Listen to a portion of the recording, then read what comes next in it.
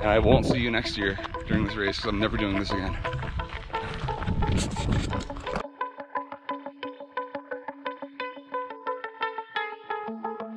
Oh, oh my gosh, this is awesome. This is so awesome.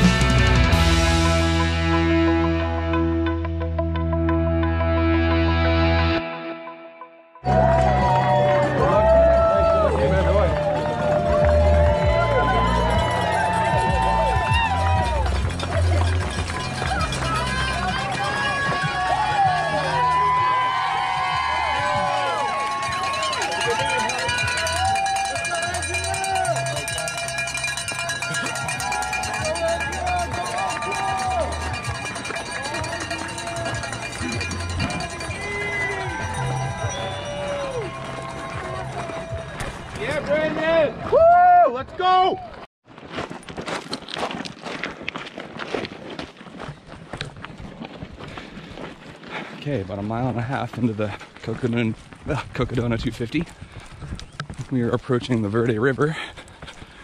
First water crossing. Last time I was here, this was all flowing, so it's pretty insane. It's as dry as it is. But it looks like we're gonna get wet. So I'll go.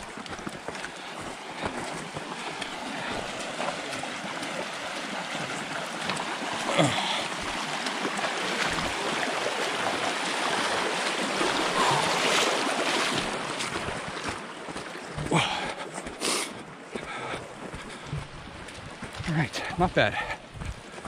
Should dry out pretty fast.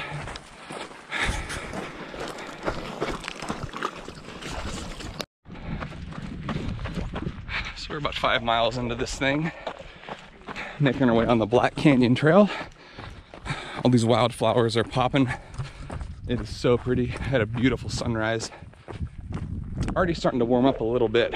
The uh, temperature is going to get into the 90s today, mid 90s. So it's definitely gonna get hot. Right now it's probably 70. So it feels really good. Um, I got this hat at REI yesterday. They say no new thing on race day, but I figured for this first section, this uh, net covering might be beneficial. A lot of people have these, especially for these bigger races. So I'm gonna try it out. It's a little bit weird not to be wearing my uh, Saguaro hat, but I'll probably change into that for the rest of the race after this first climb. But we've got about two more miles on this trail. Then we're gonna make a right turn onto a dirt road, get to the first aid station, and then the uh, death march up to Lane Mountain. Should be fun. thing on last year's finish, and then he uh, Oh, hey, guys. almost stepped on it. Yep. Stay back. There he goes. Good to see you. I Dude. never lost you, Roy. That was close. So, Roy, this is Thanks. Jason. I don't know if you've seen his content on on, on the on the interwebs, but he uh, he documented last year's finish pretty legitly. So, Trying to do the same this year. yeah, hundred percent. Would have stepped on that rattlesnake if not for this guy. So the day. yeah, dude. That Yeah, I mean, he's still going to have several dozen more runners. It looks like maybe just under half of the field has actually hit uh, um, great aid.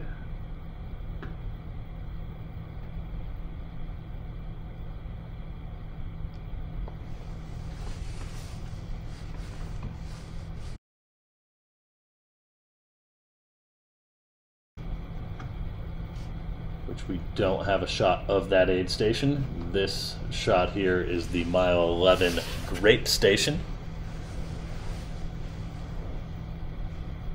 Yeah, our drone our drone pilot's going to be uh, playing leapfrog with the runners and each other throughout the race. So, um, you know, we, we grab what we can when we can grab it. Sometimes we're limited by uh, signal, uh, the level of signal that we get. Um, we do have some uh, um, boosting technology out there, but uh, we are still out in the middle of nowhere. Hence the fact that sometimes we do get some uh, uh, some shots that are not the most uh, dynamic in terms of uh, frame refreshing. All right, we are 11 and a half miles in to the Cocodona 250. Um, we just passed a water station at mile 11, which was the original Cottonwood Creek aid station. This year they moved that aid station back to mile 8, but we had a water drop at mile 11, which they told us at the uh, meeting yesterday said there would be surprises there. So they had, it was actually kind of like a mini aid station. They had music going, they had uh, people there manning it, which was cool. uh, they had frozen grapes and they had popsicles, all of which were awesome. So now we are on the crux of the course for sure. The next 20 miles are going to climb about 10,000 feet until we top out at Lane Mountain. And then we'll have a nice downhill stretch to get into Crown King, which will be uh, kind of like the first main stop of the race. It's where you can see your crew for the first time. And it's uh, always a good time in Crown King. So definitely excited to get up there, but we've got about 10,000 feet of climbing to do before that.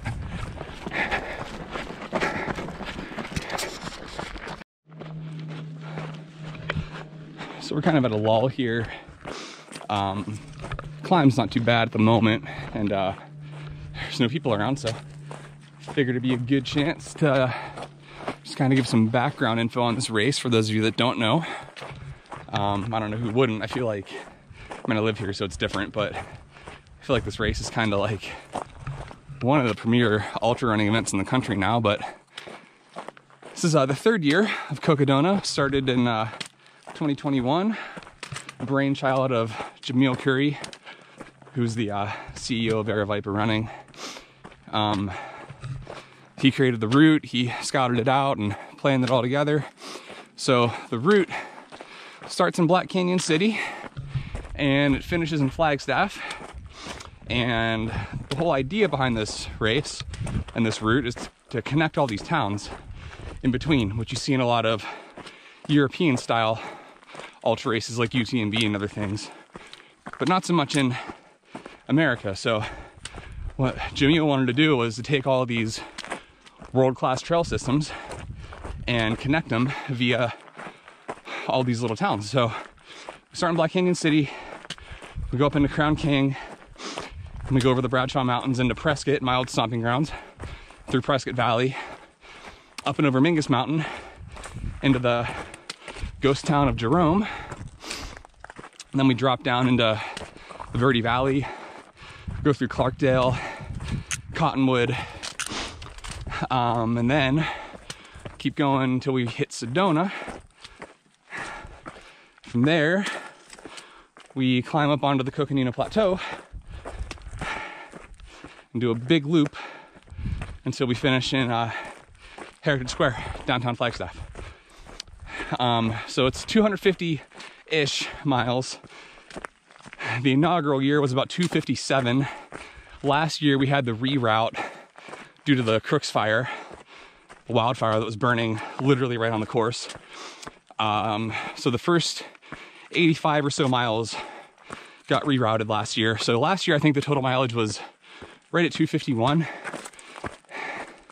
And that's pretty much where it'll be this year. 251, maybe 252. Uh, elevation gain, it's about 39,500 feet of gain, about 34,000 feet of descent. So lots of climbing and descending as we traverse all these mountains through central Arizona. So just an epic route. This race is kind of just really intrigued me since it was announced, since I first heard about it. Um, I didn't run it in 2021. I just wasn't ready. Uh, but I ended up working it, so you know, I was hanging around for the race and kind of knew right away I wanted to do it.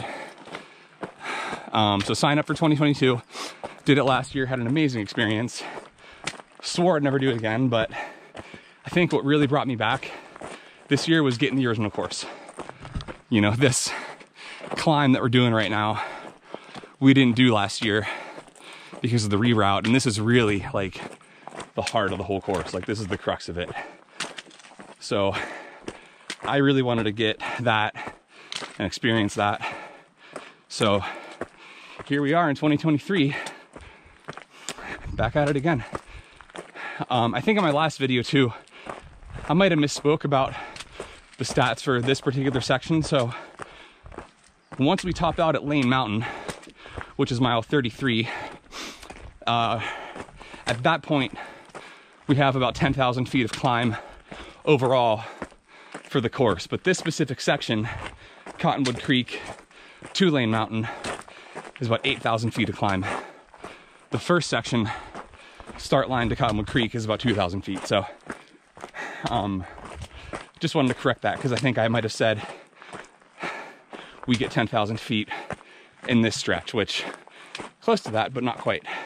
But we do have 10,000 feet cumulatively once we hit Lane Mountain. And a lot of it is trail just like this. Just loose rock, tough to find your footing. Um, so this is uh this took out a lot of people year one. So today is all about just being smart, conserving energy, drinking enough water, having a good pace, just getting to Crown King without taking too much damage is what this day is about. So, yeah, anyway, that's uh, a little backstory on Cocodona, why I'm doing it again, and kind of what drew me to it. I mean, the course runs right by my house in Prescott Valley. If you guys watched my video last year, um, you can see like where, uh, where I kind of see my dog halfway my house is like right there. So it's really cool to run by that. And, you know, I actually live up in Flagstaff now too. So, um, yeah, it's kind of cool to connect all these towns that, you know, that I'm now familiar with. So, anyway, starting to ramble, so I'm to turn this off and keep climbing. So we are really climbing now. And way off in the distance, behind some of those mountain ranges, you can actually see Lake Pleasant, which is very cool and very beautiful. We have uh, ascended past all the saguaros, so our landscape is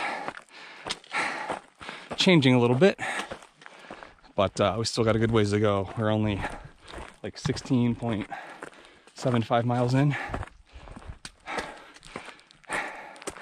And our next aid station, Lane Mountain, is mile 31, so still a lot to go, but look at that view.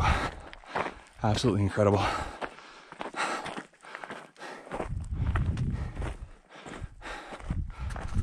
It's pretty amazing. You can see Black Canyon over there. So we just had ridgeline views of Lake Pleasant and now we've got ridgeline views of Black Canyon and Black Canyon City.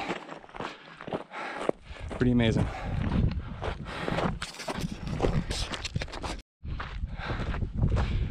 Okay, so we had a couple of pretty awesome views, Black Canyon City and Lake Pleasant, but now we have Black Canyon, Black Canyon City, and Lake Pleasant, all in the same view. Pretty amazing. Also, I uh, just realized I still have my headlamp on from this morning. Probably don't need that anymore, so we'll take it off here in a second, but these views are outrageous.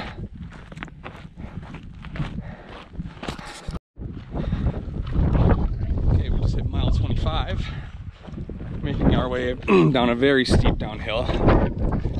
That's the thing about this section is the climbs are so gnarly, but like you really can't make up time on the descents because they're just as gnarly. Like this is pretty steep and there's a lot of loose rocks, so I'm just trying to watch my footing, but should be close to our water station. Uh, this was something new for this year. We have a water drop here at mile 25 point something, and they actually had to carry it in by mule, um, which is great. So we're allowed to take one liter at this water drop, and as far as I know, it's unmanned, so it's just going to be like an honor system type thing, but we should be hitting that pretty soon. And you know, there's always stuff that comes up at these long races, but just got these shoes like two weeks ago. Got no more than 100 miles on them, and I was planning on using them for most of this race, but I like kicked a rock or a tree branch or something, and I don't know if you can see that, but I've got, got a big hole right there. So that's a bummer. Um, but I have a second pair of shoes that I was going to use, like kind of alternating between this pair and that pair. So I'll switch to those at Crown King, and then maybe my wonderful crew can get me another pair of shoes to use because I don't really want to do the rest of this race without having a backup pair of shoes or something else to change into. But yeah, it's annoying. The shoes are like 180 bucks. And uh, yeah, whatever. It is what it is. Um, anyway, we are continuing down this path. Hopefully, we'll hit our water drop soon.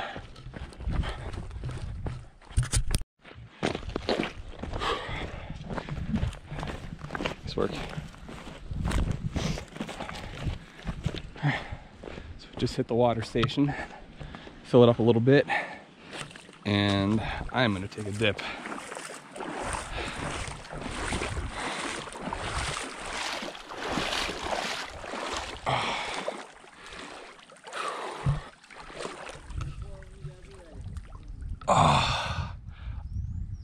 Oh yeah. Everything wet. Okay.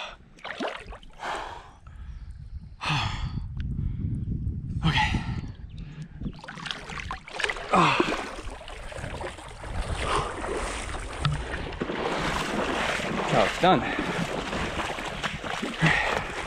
me get my pack back together and then keep going up.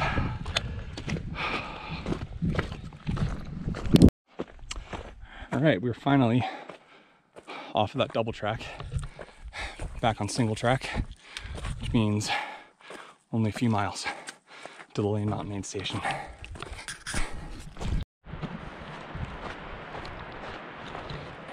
Well, we've gone from spines to pines, as they say. So, started in the desert and now we're up in the pine trees. We just got onto this Forest Service road off of the single track. Um, I'm at 32.15 miles, so about a mile away from the aid station. Maybe a little less than that, I'm not sure, but roughly a mile away. Uh, see, right now I'm 10 hours and 49 minutes in. My goal was to make it to Crown King by in, in 12 hours. I think I'll hit that. Um, depending on how long I linger at the Lane Mountain Aid Station, but either way, it's pretty good. Uh, what else? I feel like I was gonna say something else, but now I can't think of it, so. Anyway, we'll uh, see you at the aid station. Right, we have made it to the Lane Mountain aid station. Hardest stretch of the course. Done.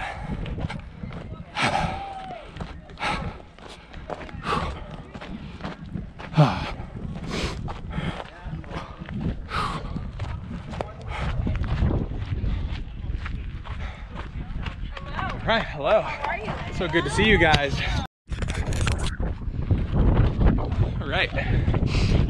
Crown King, 4.3 miles. This is mostly downhill. It's gonna climb a little bit for this first stretch, but that's a nice like four mile runnable downhill into Crown King. And right now, I'm not sure if you can see that, we have 9,715 feet of climb 5,151 feet of loss. So just shy of 10,000 feet to get to that point. I think with the added couple hundred feet on this segment, we'll be at 10,000 feet by the time we get into Crown King. It's, uh, hang on, come on, watch. 417. Um, I just checked my pace chart. I was scheduled to leave Lane Mountain by 4:30, so like 13 minutes ahead of schedule, so that's good. Um, yeah, and I can't wait to get into Crown King and see everyone and eat some real food. It's gonna be hopping down there.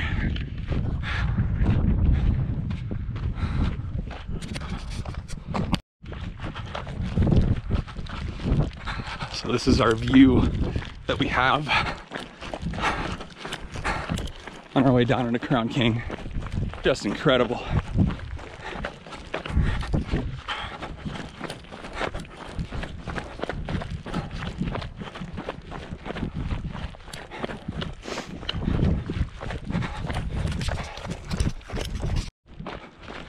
I don't know how well the view is going to pick up just because there's trees are, that are in and out of the way, but going down this dirt road into Crown King and off to the right, and the view is just incredible. You can see Prescott Valley, Mingus, and I thought I could make out the Mogollon Rim. Not sure, but either way, the fact that you can kind of see that far into where we're going this early into the race is pretty amazing. Let's uh, we'll round this corner down here and see if we can get a better view. That's what's really cool about this race.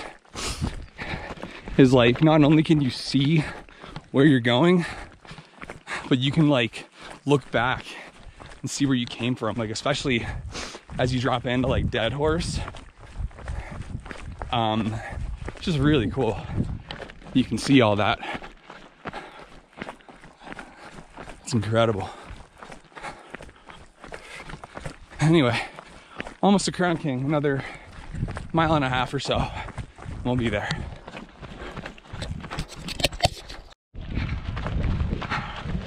All right, made it into Crown King. I think I see my wife up there. Eating some real food here soon. Gosh.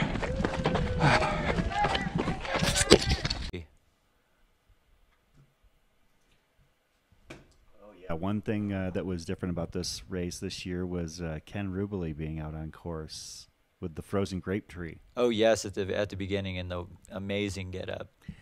And his his salesmanship was just off the charts. Yeah, I mean, how many people did he send out with like a cup of frozen grapes that probably had no intention of taking any grapes? Yeah, and and he that's just the way he is. I mean, if, if you haven't met Ken Rubley, uh, he's been a valued member of the trail running community here in Arizona for many years, and uh, and he decided to offer his services to Jamil and to Aravaipa and Stephen Adderholt to basically man a water station out in the middle of nowhere.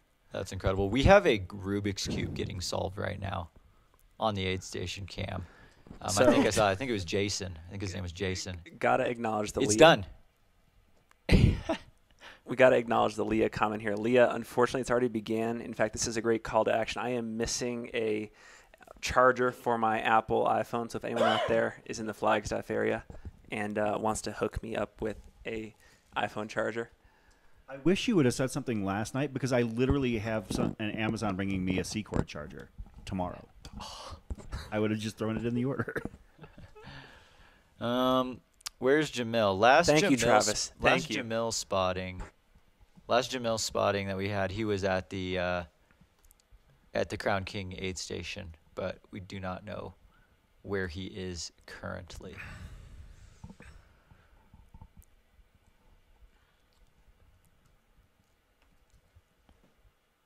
So if you're doing a 250 mile race, Yeah. obviously some people have certain ways to uh, engage their mind, such as doing a Rubik's cube at mile 37. Um, is there anything that you would do, uh, either of you, to to kind of get your mind in the right space uh, for the next 211, 212 miles? I mean, I when I did the Appalachian Trail back in 2014, the cell phone coverage was so bad on the trail, and I didn't bring like any like iPhone device or anything like that, and so there was limited ways to entertain. Your mind goes to pretty wild places if you're not like talking with people on trail, and I don't know, it's kind of fun. Two words exogenous ketones. My mind will be sharp as a tack the entire time. 60% of the time, I take ketones every time. If there's one thing that I want the world to uh, to think about critically today, it's investing in this blimp and getting on the ketones train. Yeah, but I vote blimp over ketones Oh, if I had to choose 100%, one. 100%. Um, The, the collective versus the individual. Yeah, absolutely. Because, yeah, I mean, I'm I'm investing in this blimp. I want to ride the blimp. I can't wait next year to be in the blimp during the live coverage. Like, yeah, it's gonna be, it's gonna be incredible. It's gonna be amazing. The best blimp ever. The Air Revipa. That's what it's called. Blimp Biscuit. The Blimp Biscuit Air Vipa. The Blimp Biscuit. Blimp 182.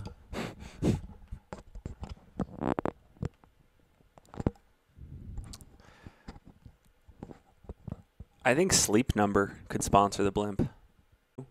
That were 39 or older, most of them in their mid to late 40s, that were in the top 10, and two of the top 10 overall were female, which is super cool.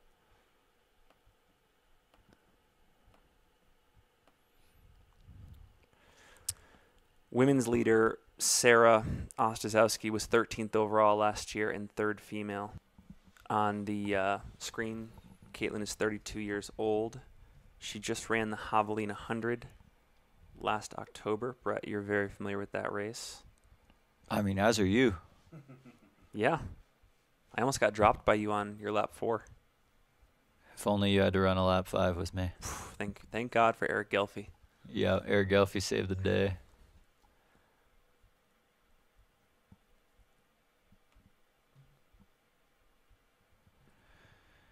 Jason! Go, Jason! Hurry up, Jason! Oh my gosh. All right.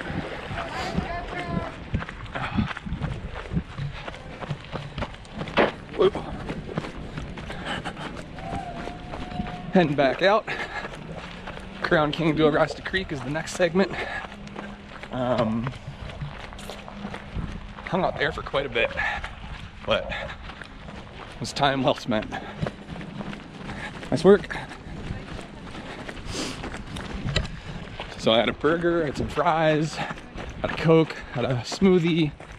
Spring Energy was sponsoring this aid station, so they had like like the awesome sauce. They had every flavor of Spring Energy, but they, they were just giving them away, so I took a bunch of awesome sauce because that's the best one. Um, got a wardrobe change, got my light, and I'm a half hour ahead of schedule. It's 6:03 right now. My projected time to leave Crown King was 6:30. so doing good. Recently ran this stretch with Harley, um, so pretty familiar with this territory. It's still pretty fresh in my in my brain. Actually, a video on that if you guys haven't watched it. You should, or not. I don't care. I'm always like, why do people watch my videos? But it's cool when I'm at races like this and people come up to me and they're like, hey, I like your videos. Because, like, literally every time I post one, I'm like, I don't know why anyone would want to watch this. But, I mean, I get it. I'm like, you know, kind of a running geek too, so I watch all the running content on YouTube that I can. Um, but anyway, we are gonna keep going here. We'll hit our first night section here, and uh, that's when the real party starts.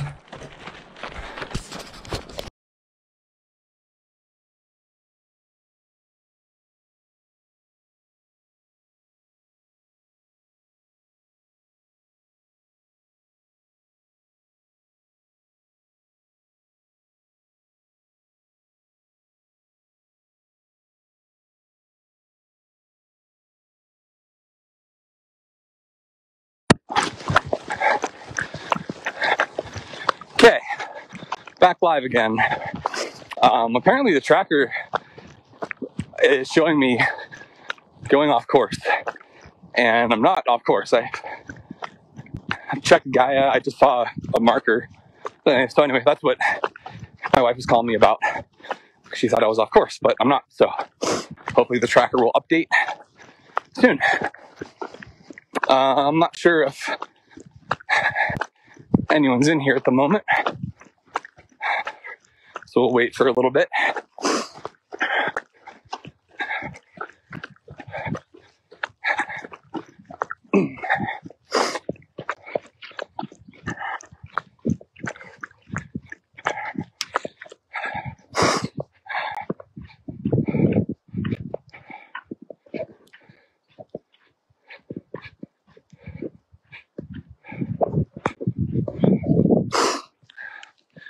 Looks like we got a couple people watching. I'm not sure who, but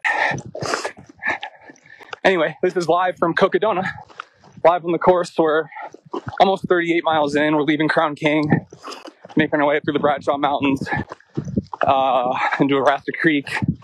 From there, we're going to climb up Mount Union. We're not going to quite summit Mount Union, but we'll go right past the summit, which that's the highest peak in the Bradshaws. Very beautiful spot. Uh, and then from there, we're going to come down into Friendly Pines and then into, Prescott. So I'm hoping to be at Whiskey Row. Uh, I'm probably going to sleep once I get to either Kamp Kipa or Friendly Pines. So I'll sleep for a few hours, hoping to be at Whiskey Row sometime in the morning, like 8, 9, 10 o'clock, something like that. But uh, feel good so far. Day one's the hardest day, um, both temperature wise and trail ro- trail wise. We climbed like over 10,000 feet in the first 30 miles. Pretty crazy. But now all that's uh, behind us. So I think there's a few guys in here watching. They don't have any questions, or I don't really know how else to do this. I just thought it'd be fun to give some updates live as they're happening.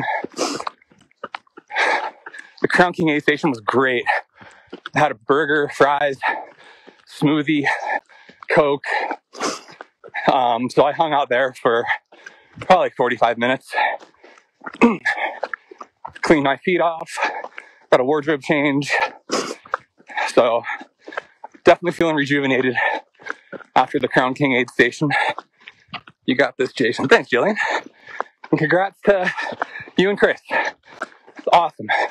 Awesome news.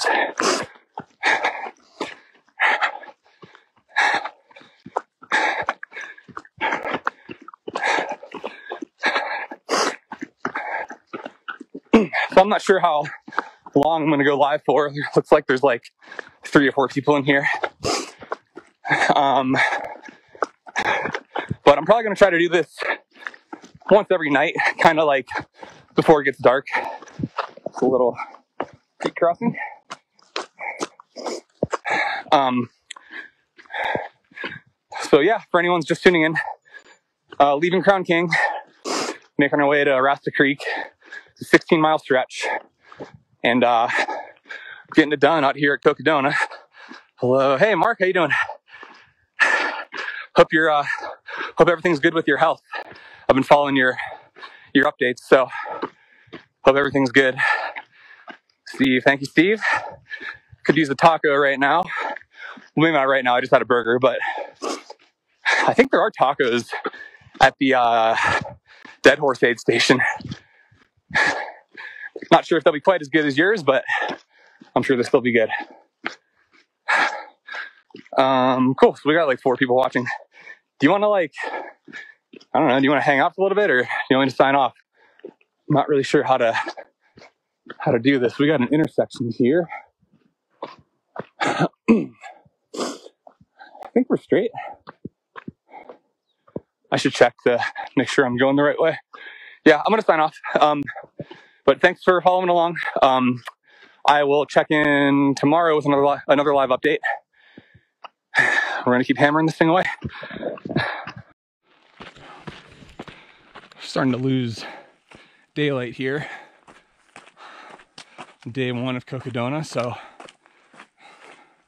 almost to 42 miles, 14 hours and 23 minutes in.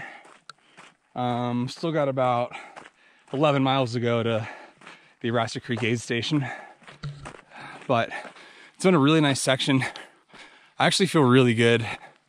Um, legs and feet feel fresh. I feel good. I'm sure I'll be tired as the night goes on. I still have a hard time staying awake through the night, even in 100 milers, but that's what trail naps are for, right? So as of now, I feel really good still. Um, I think we're approaching Towers Mountain. Yeah, you can see the towers up there. Well, trees are blocking them now, but there we go. So, going around the base of Towers Mountain.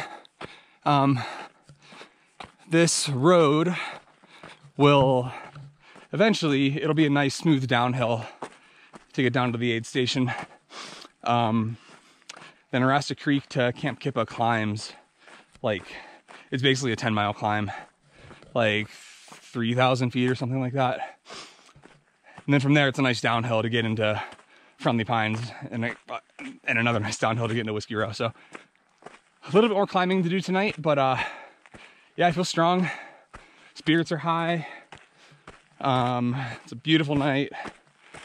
So I'm not sure how much filming I'll do during the night. I might do a little bit here and there, but probably not a whole lot. So yeah, we're gonna power through this first night and uh, we'll check back in sometime.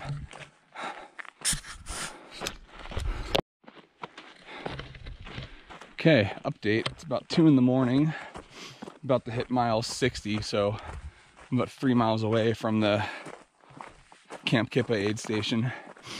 And I pointed this out in my training run video, but I thought it's worth mentioning again is that we're, you can't see it now because it's dark, but we're actually going through the area where the Crooks fire came through last year.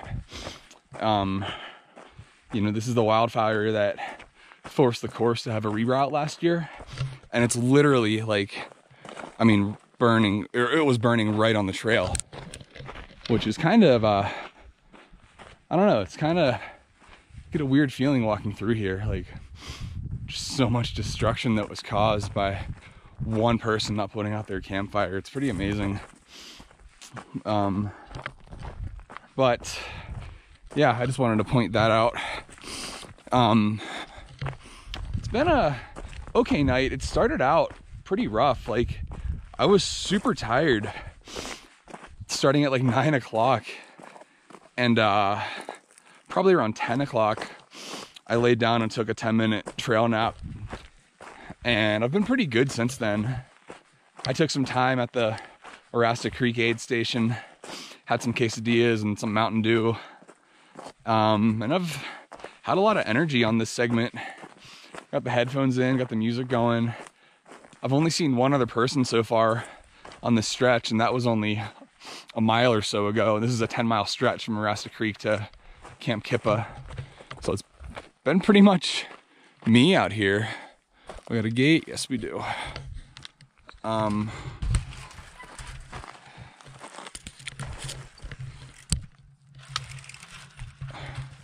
yeah, so my original plan was to sleep either at Kamp Kipa or Friendly Pines. Um, can't have crew at Kamp Kipa, so I'd have to sleep in whatever cots they have provided. But you can have crew at Friendly Pines. And I actually bought a like a camping cot for this race. So if I were to wait it out and sleep there, my crew could get it set up for me with my sleeping bag and everything. It might be a little comfier. Um, but I don't know. We're just gonna keep plugging away on this climb and we'll see how I feel when I get to Kamp Kipa, if I want to sleep or not. Because the other thing too is by the time I get to Friendly Pines, it's probably to be sunrise. So I'll kind of get a second burst of energy anyway, and probably won't want to sleep, uh, which could be good or it could be bad. So I think I might try to force myself to lay down at Kamp Kipa for an hour or so at the most and keep going, but we'll see. Right now we're just making our way up the Bradshaws. We're uh, almost to the top of this trail. We're on the Yankee Doodle Trail. We're gonna go right by the summit trail to get to Mount Union, which is the highest point in the Bradshaws. 7,930 or 40 some feet. So the trail's kind of rough. It uh, definitely got beat up from this winter, but we're uh, we're doing it. And uh, yeah, still feel pretty good, all things considered. So anyway, yeah, we're going through the uh, Crooks Fire. Pretty wild. Okay, we made it to the Kamp Kipa aid station and I'm gonna sleep for an hour and a half or so. Don't feel super tired right now, but I think this will set me up good for tomorrow. Plus, it's hard to resist a bed. Harley, are they across the street? Oh, gotcha. So, I'm gonna be quiet. There's, I guess there's 12 other guys in there, or there's 12 beds um, and we're all sharing it. So, but I got a bed, I got a blanket, and I'm gonna be able to charge my phone and my watch while I sleep. So, uh, it's like 3:15 in the morning right now.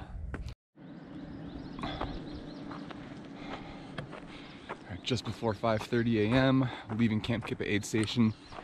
Got about an hour, maybe an hour and a half of sleep in that cabin right there. Excellent.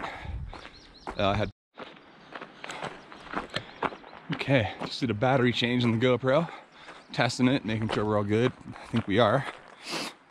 So, I'm not sure when that last video cut off, but I slept one of the cabins at Friendly Pines, or not Friendly Pines, um, Kamp Kipa, for about an hour, maybe a little more than an hour. Had pancakes, bacon, and eggs for breakfast, so I'm actually feeling pretty good. Um,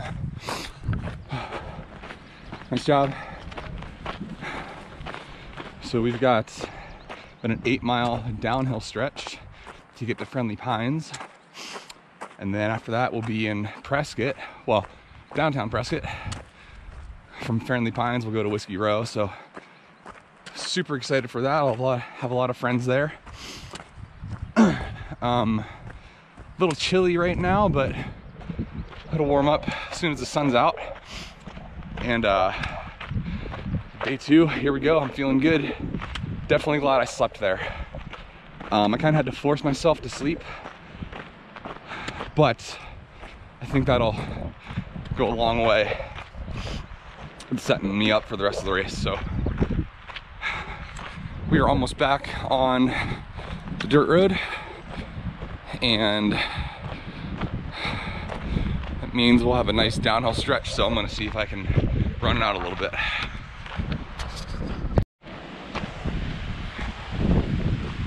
Couple of really, really beautiful waterfalls down there. Making its way down that gorge. Beautiful. I feel really good. Um, been running down this hill ever since Kamp Kipa, and I even put the pulls away. So I'm just running. And I can say that uh, I never had anything like that last year. Poles were out pretty much the whole race. But this just feels really good to run. I'm not going super fast right now. I'm doing 11 30 minute pace. So nothing crazy, especially for downhill, but to be, uh, you know, 65, almost 66 miles in, day two, with all that climbing behind us and legs and body still feeling fresh. Pretty good sign. Uh, I was gonna say back up there at Kamp Kipa, we're already at like 15,000 feet of climbing and like hard climbing too. You know, like gnarly trails, loose rock everywhere, super steep.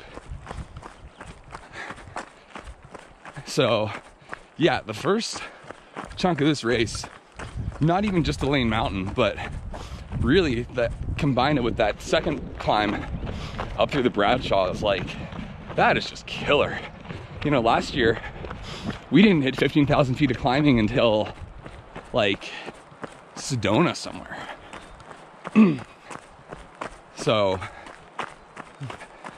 yeah, not to take anything away from the race last year, because it's still a long way to go, but definitely more challenging with the original route.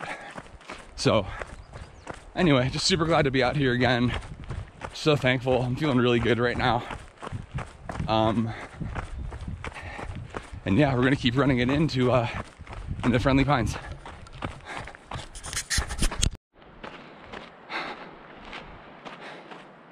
Okay, we are now on Groom Creek Loop Trail 307. Um, I think I mentioned this again in my training run video, but this is such a great loop if you're ever in the Prescott area. Um, it's like 9.6 miles, climbs up Spruce Mountain, pretty gnarly climb, 1,700 feet and three and a half miles, and then a nice, like, flowy, smooth six mile downhill. But the views of the top of Spruce Mountain are incredible. So, if you're ever visiting Prescott, this is definitely one of my favorite trails to run. And it feels so good to be back on it as a part of this race. It's like that sense of familiar familiarity. It just feels really good. And I still feel really good, so we're gonna keep running. Okay, about to roll into Friendly Pines Aid Station, mile 71.7 roughly. Still feels so good. I don't know what's going on with me. This is great. Here we are.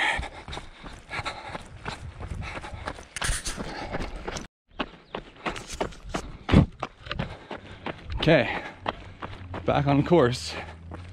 Um, hung out at Friendly Pines for I don't know 10 15 minutes. Not a whole not a whole lot of time spent there. But making our way down to Whiskey Row. Cannot wait. Picking up my first pacer there. My good friend Erin she's gonna do 31 miles with me Whiskey Row to Mingus and this is the first time that we're on pavement pretty amazing to be 72 and a half miles into this thing. I've already traversed a few towns, yet this is the first time we're hitting pavement. So that's kind of cool. So, anyway, this should be a pretty easy section. It's like 7.1 miles, mostly downhill, mostly on road. So, hopefully, we'll be at Whiskey Row here. And well, it's 8 o'clock now, probably 9.30 would be good. So we're gonna hammer this out. Okay, we are on trail 396 and we are running by Goldwater Lake here in Prescott. Absolutely beautiful. I love this lake. It's so pretty and it's good to see it really full. I haven't been here in a while, so this is awesome. I wasn't sure how these segments connected. I had no idea. I guess I should have looked at the map, but I had no idea that we would even be going by this. So this is a pleasant surprise.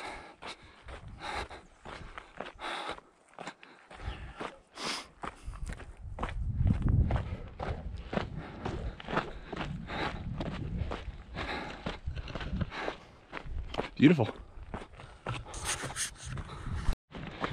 And before we were looking at upper Goldwater, now we're running by lower Goldwater Lake here in the Prescott National Forest. Absolutely beautiful. I've really missed these trails and these lakes. So good to see it again.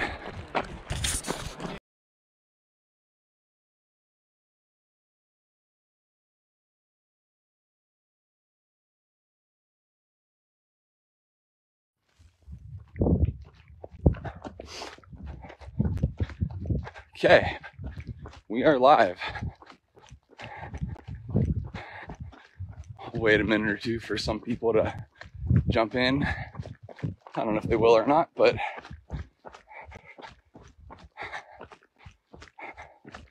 we are at mile almost 76, cooking on to 250, making our way down Trail 396 as it winds its way into Prescott. Should be at Whiskey Row in four miles, so maybe an hour or so.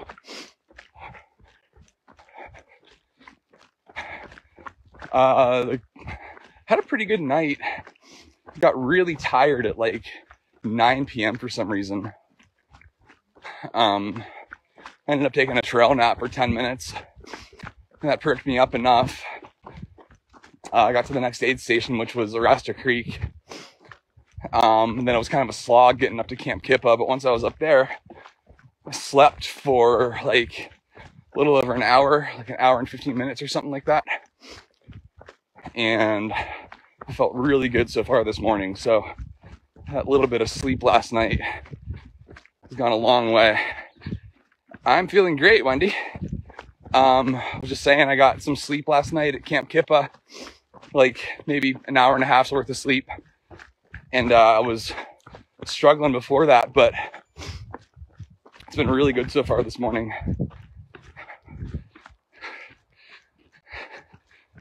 Got some people coming up here. Good morning. There's an Aravaipa race going on. Oh, okay. So- but you're not part of it. I'm, I don't work for Aravaipa, but I'm doing the race. So, Oh, yeah, I am part of it. all right. Where did it originate? Black Canyon City. Really? Yeah. You've been running? Yes. How many It's gonna end in. It's 250 miles. It's gonna end in Flagstaff. Oh. yep. Have a good day. I don't think. Okay, we are off of that single track, back on pavement. We'll be in pavement until we hit Whiskey Row, and actually, we'll be in, on pavement until we hop onto a Peavine Trail before we loop around Watson Lake. So, actually feels good to be on pavement. Uh, I do like zero road running, literally. Um, I avoid it like the plague. But uh, man, after 77 miles of like brutal climbs and gnarly trails, pavement actually feels pretty good. So, should be at Whiskey Row in a little less than three miles. Super excited to see everyone. And man, I just, I love being back in Prescott. I love this town so much. So, definitely special to get to run through it.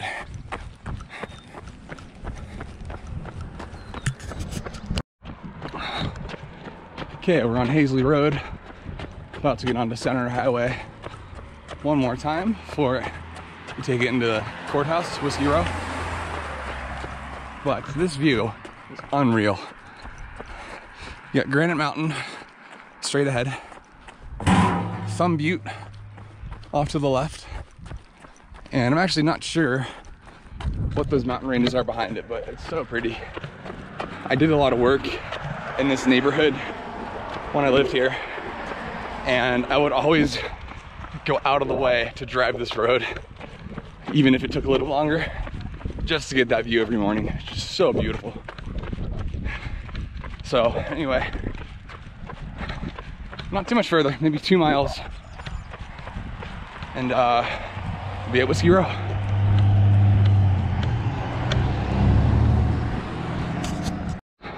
So one of the many awesome things about Prescott is how far you can see. So I'm not sure if the camera can pick it up, but over there you can already see the Granite Dells, which we're gonna go through. Behind there you can see Prescott Valley. Behind there you can see the Mogollon Rim. And behind there you can see the snow-capped San Francisco peaks, all the way in Flagstaff. Just incredible. The shorter mountain over here, I'm not sure if you can see, but that's Bill Williams Mountain in Williams, Arizona. But yeah, I love just popping around town at these higher vantage points and being able to see the San Francisco peaks from Prescott. It's so cool.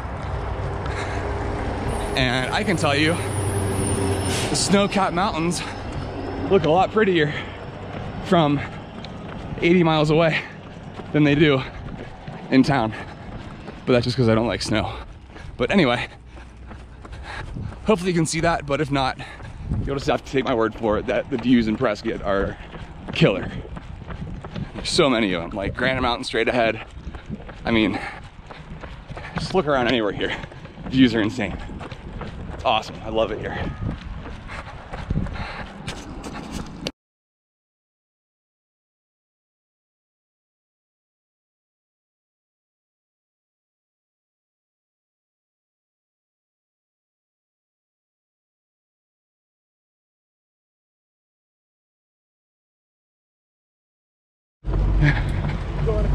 Yeah. This guy said he would show up in the bunny suit. Didn't believe him. And he's here in the bunny suit. Tom's leaving bed. Just- He's on his way here. Right on. Will's coming too. Oh, really? Yep. Sweet. Yeah. It's probably the furthest you've ran since. Dude, What? I'm ready to quit already. I am. Dude, that's awesome. You're awesome. There's no Well. way I could do what you do. There's no way. All right. Oh, thank you. Oh, thanks, mom. All right. Woo. What's up, buddy? What's going on, man? Dude. What's up, guys? Oh, hey. All right. Hey. Here, hold this. You can be the videographer. I don't know. Film whatever you want. I can't believe you did that. Tom's on his way? Yeah, Tom's on his way. Sweet. Will too. Right on.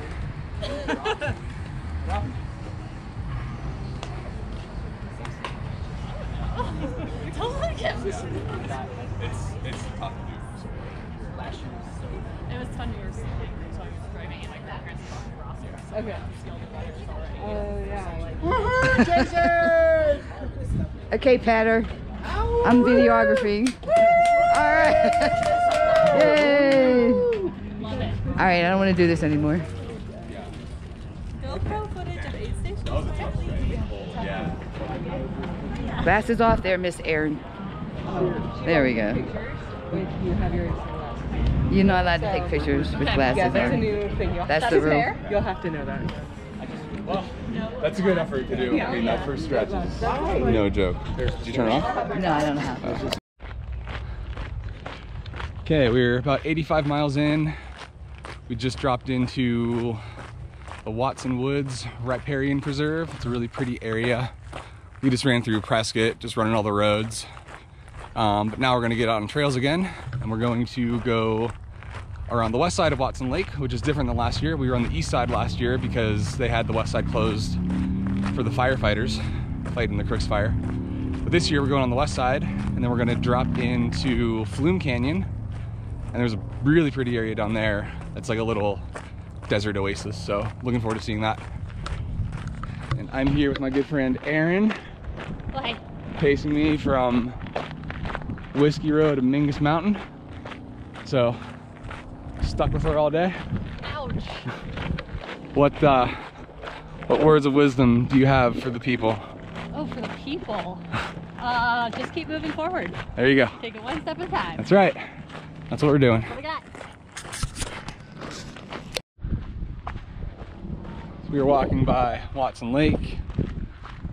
Absolutely beautiful. You can see all the rock formations on the other side of the lake. We call those the granite dells. And that's where we're going. Some really cool trail systems back in there. Um, feel like crap. Definitely fighting through a low point, but it's okay. That's what happens when you do these things. What do you have to say? Don't forget to fill up your waters. Yes, I couldn't get any water out of my bladder and I thought it was like kinked or something. And so we stopped and looked at it and apparently I forgot to fill up my water bladder at the last aid station. So I have two things of gnarly and tailwind And Erin's water. and Aaron has water. But yeah, I can't believe I did that. That was insane. But anyway, we're gonna keep moving forward.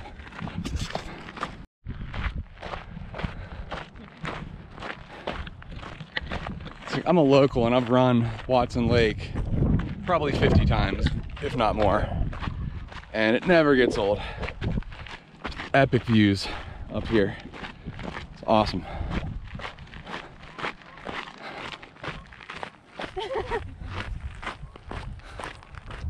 It's so pretty.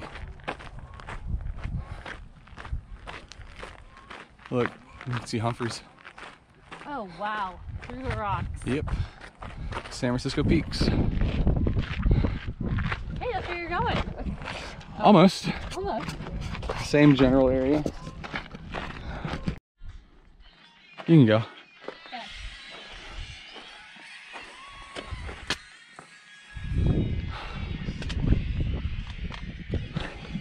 So we're making our way down to the Dells. And again, I'm a local and I see these all the time, but every time I'm here, like, feels like it should be a national park. It's so cool.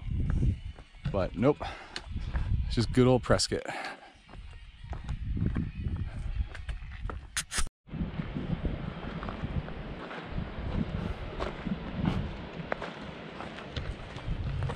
So we're down here at the bottom. This little oasis area, it's so pretty. This waterfall back here is the overflow from the Watson Lake Dam.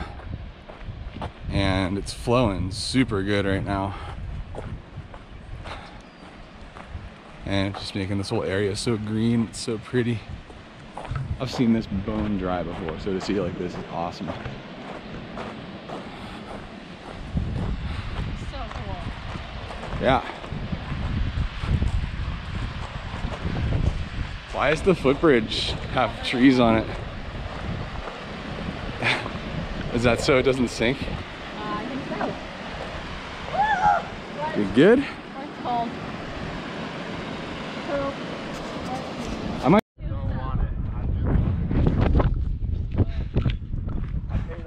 Okay, finally off of Peavine and Iron King Trail. This section has been a sufferfest.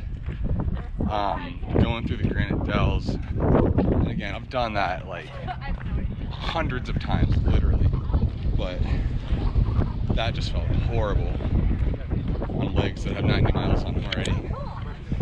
Um, which is a shame because I was really looking forward to that section because it's so beautiful, but like I was just suffering through that. And then coming out on Peavine, it's just a rail trail, so it's just flat miles, but seemed to go on and on and on. And it's hot. It's really windy, I'm, so, I'm sure you can tell. Um, not having enough water, idiot. Yeah, just a suffer fest of a day so far, but um, aid station is straight ahead.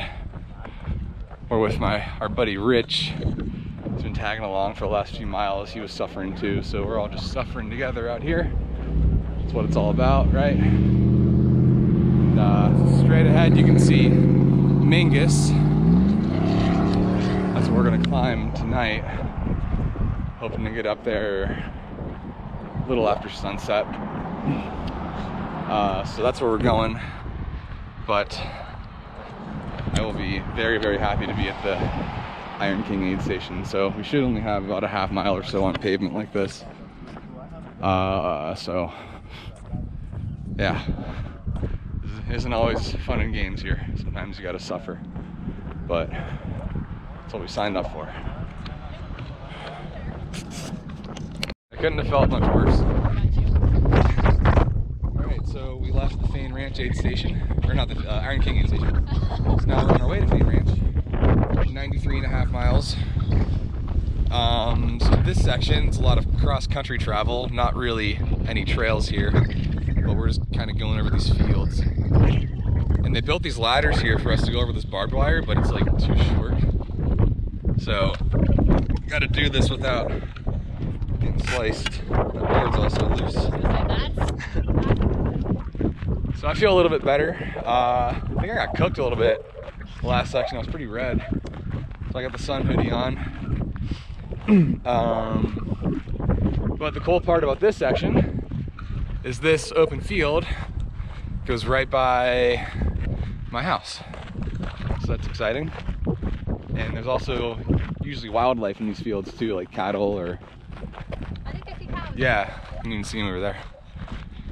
So short stretch, five miles to get to Fain Ranch. Um, and they have like compression therapy and like massage people there to take care of us. So that'll be pretty sweet. You can see Mingus straight ahead. That's where we're heading.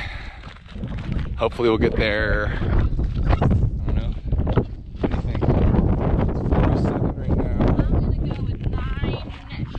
now. Nine-ish is probably a safe bet. So.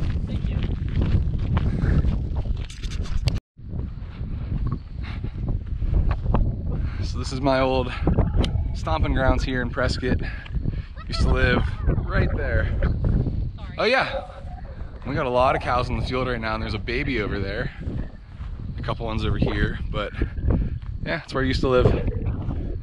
And I think I told this story on my video last year, but one of the things that really inspired me to do this race was in 2021, the inaugural year. I remember walking my dog around the block in the evening and seeing Cocodona runners coming through this field. And I just thought that was the coolest thing that this epic race is happening, like literally right where I live. And then you have to go 150 miles still up into Vermingus and all the way to Flagstaff. So definitely cool to be back here. And I like seeing all the wildlife. It makes me happy.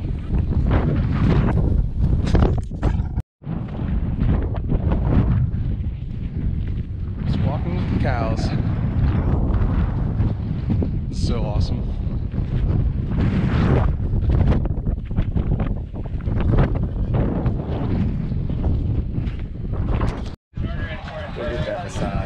Yeah.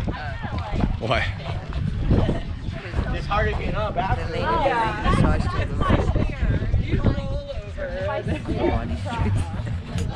Good. Here at the Satisfy Fain Ranch Aid Station, they got these crazy comfy couches.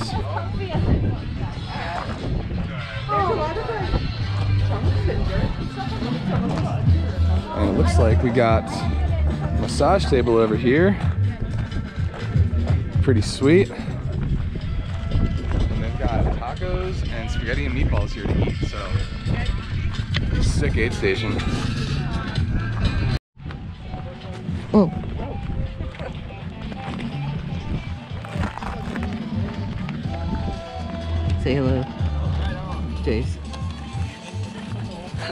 you're going under? Hi.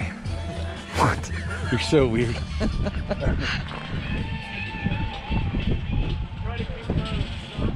How they feel tight? Yeah. Say very? Yes. Very tight. They feel good? Hurt you at all, or are you doing okay? Yeah, this is great. Do you mind if you're on the phone? It's okay. It's a nice shot of your butt, Jace. Oh. I'm your mother. I'm allowed to be weird. Have you been following? Huh? See, I said the last aid station that Jason's. How old are you? 36? You're 36, almost 37. I said, even. You were born in 86. You're not 37 yet. Oh, it's only May. I think she knows better than you. Birthday's in July. I said, even at 36, a mother's job is to embarrass her children for as long as she can. At every opportunity she can get. Yeah, we had the terrible, terrible Jason towels. That was fun. You want me to stop filming? Yes. You did great. Thank Say you. hi. Hi. Show those baby blues. Yeah, you're so weird. I know.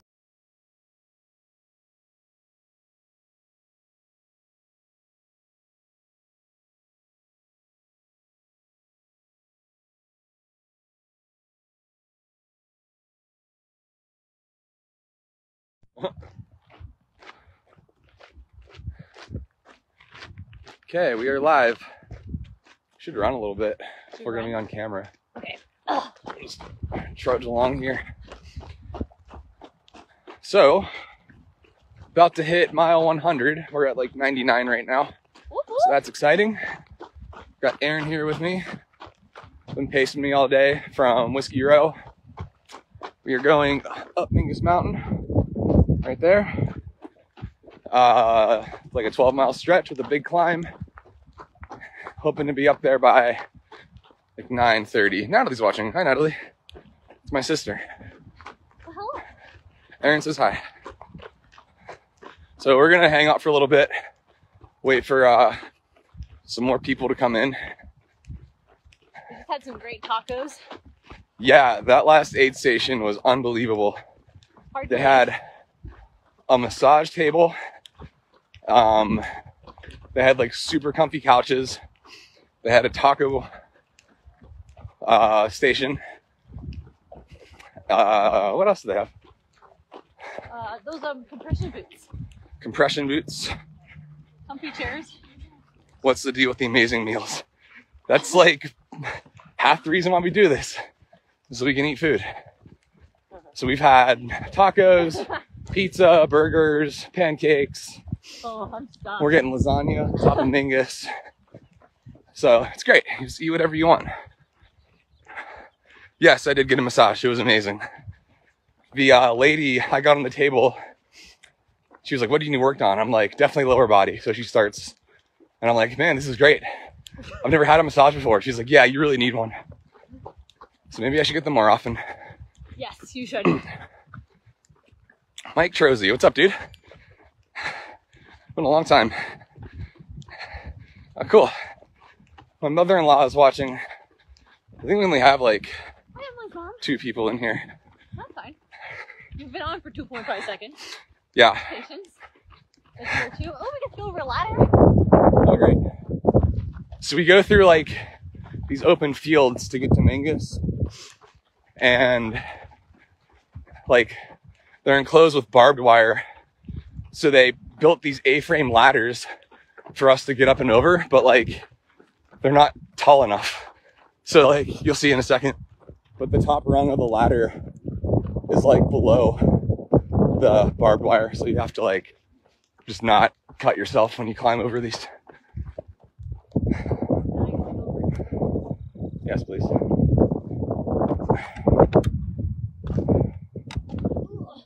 All right, how you do it. See any animals? Yes, I've seen uh, three snakes, one rattlesnake, one king snake, one garter snake. Uh, I saw a javelina and a bunch of cows in these fields. Um, yeah, I think that's it so far. The goal is no mountain lions. Definitely no mountain lions. That'd be horrible. But they're out here, so who knows? The goal. What's the temperature right now? It felt really hot today. Um, my phone only said 75. It felt so much hotter than that. Um, but right now the sun's going down, so it's probably mid 60s. What? Oh. So, yeah, I think we're gonna hang out for a little bit. So we have pretty good cell service here, so Um, so for those of you just tuning in, we're about to hit mile 100. We're at 99.16. So that'll be exciting. But uh, not even halfway there, so there's that. We're gonna go squeeze by on your left.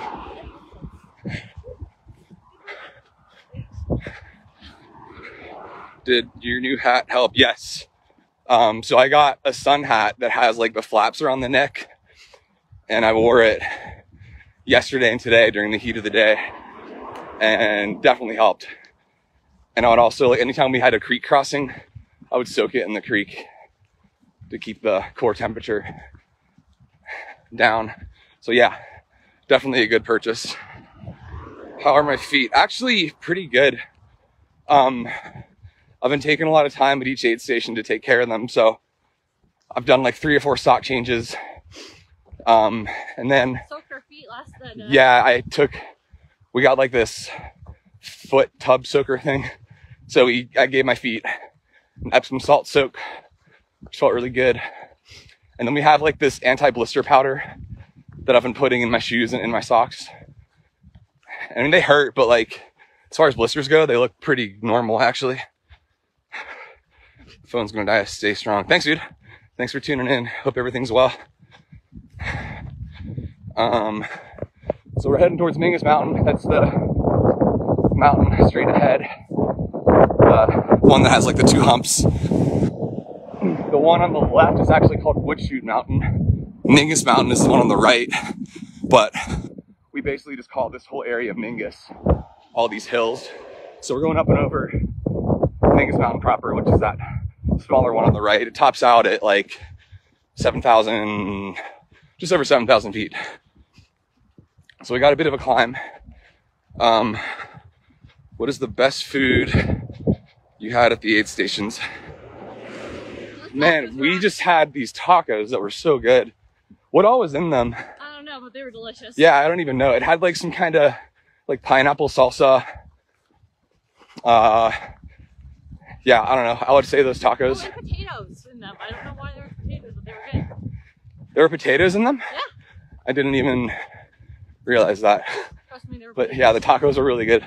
But the best aid station food is going to be this lasagna at the top of Mingus.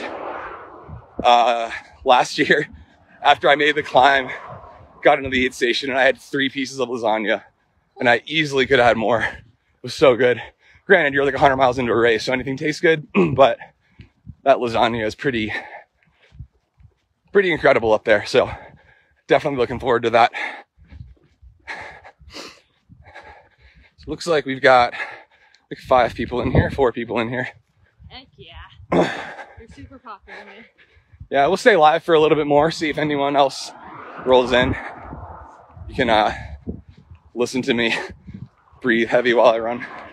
But if anyone has any questions, feel free to drop them in the comments. Today was pretty hard. Uh, I kind of got cooked in the sun a little bit. And there was a long stretch, like a 14 mile stretch in between aid stations, which isn't super long compared to some of the other uh, segments of this race, but super, super exposed. And it was really hot. And there's just no escaping the heat. Um, so I definitely was fighting through some low moments today, but I feel pretty good now.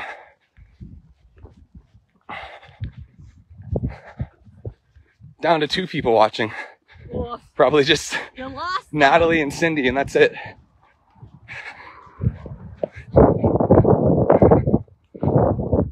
We'll keep it going for a little bit more. Um, are M and your mom behaving? Uh, yeah, I mean, my mom's just embarrassing me at every opportunity, but They have custom towels and they're really cool.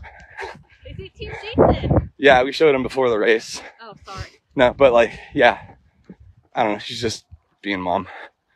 She loves you. Say, you running this race kept me going at the gym. Sweet. That's awesome.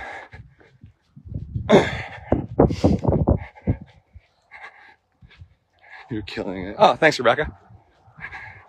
Yeah, it's been, uh, I mean, day one was super hard. There was just so much climbing. like not really a lot of runnable sections, so it was a lot of hiking day one, but felt really strong. Slept for like an hour and 15 minutes at one of the aid stations. Uh, and that's all I've had so far. Today was tough just because it got really hot, but definitely, and I had to deal with Erin, that's true. Um, but I feel pretty good now. So once we get to the top of Mingus, it's a sleep station up there, so I'll probably lay down for an hour or two. I don't want to sleep for too long. and then we'll drop into the Verde Valley. Uh, so right now I should be on pace for a Friday, like 5 p.m. ish finish. So hopefully we can keep it going. What music are you listening to? Epic play. I've listened to zero music uh, this whole time. That's true. Um, I like, I have headphones in when I run, but I rarely ever listen to anything. I used to a lot, but then like I started going on longer runs and you kind of listen to the same thing over and over and over again. So I just got tired of everything. And so I got into the habit of just not having anything on. And it's like pretty awesome actually, because you can just hear like everything around you. Plus when you're on trails, like you want to be alert for like rattlesnakes or any kind of wildlife or bikers. Um, so actually, I lied. I did listen to a few albums last night because I was just feeling so. I'll have the headphones in as, as a last resort. So last night I was starting to feel tired at like I don't know three, four in the morning. So I threw on some uh, Avenged Sevenfold, get the heart rate going a little bit. Always a good choice. But other than that, no music. So you've only had an hour and a half sleep this whole time. Yes. Uh, I took a 10 minute trail nap last night. I don't know why. I got like super tired at like 9 p.m., which is like kind of when I usually go to bed. So I'm sure it had something to do with that. But I pushed until like 10 o'clock. I was just so tired. So I lay down. I took a 10 minute trail nap and that got me through to get to the sleep station up at uh, Kamp Kipa. So yeah, when I got up there, I laid down. I planned on sleeping for an hour and a half, but I woke up like 15 minutes before my alarm was set. So yeah, like an hour and 15 minutes of sleep on a bed and a 10 minute trail nap is all I've had so far. But yeah, I feel good. Like I don't feel tired. Um, it's always tough getting through the nights, but once the sun comes out, I always get a second burst of energy. So my plan for tonight is to push through as much of it as I can. I'm gonna sleep at some point, but not a whole lot. I, I won't sleep for more than an hour or two tonight. And it'll probably be that way until we finish. so what happened to Harley? Harley recovered. Um, he was at the Kamp Kipa aid station for like five or six hours. So we got into Kamp Kipa at the same time last night. And I mean, he was hurting pretty bad. We both needed sleep. So we both slept for like an hour. And then we both got up. It was like 5 a.m. at that point. So they had like pancakes and bacon and eggs. So I was eating that and then I took off. But Harley, like, was not feeling good. Like his knee was jacked up, back was jacked up, ankles are jacked up. And he was like, dude, I'm so embarrassed. Like, I think I have to DNF. I'm just like, no, got this. Like, take your time. So anyway, he stayed at the aid station for a while. They put him in a knee brace and I guess gave him some medicine or something. And last I heard, he was just past Whiskey Row. So he's probably a few hours behind me. But last I heard, he's doing good. So, yeah. And that's the great thing about these long distance races is you have time to recover. So, I mean, everyone goes through low points. Everyone has stuff happen to them out there. I mean, it's 250 miles through some pretty gnarly terrain. but if you're in that situation, like you have time to recover.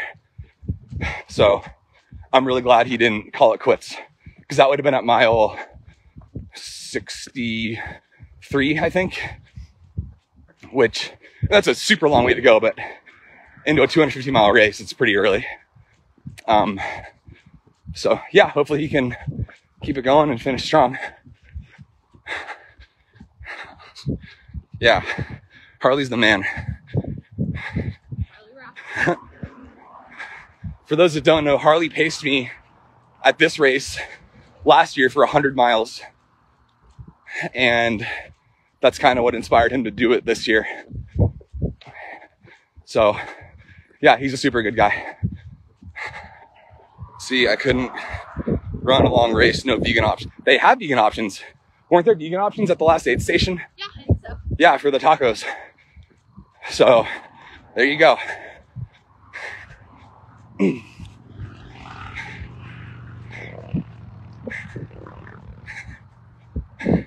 Are you at 100 miles yet? My watch says 99.94. But in years past, they've had signs on the trails that say, you know, 100 miles, keep going, or something like that. So we haven't seen that sign yet, but should be popping up pretty soon.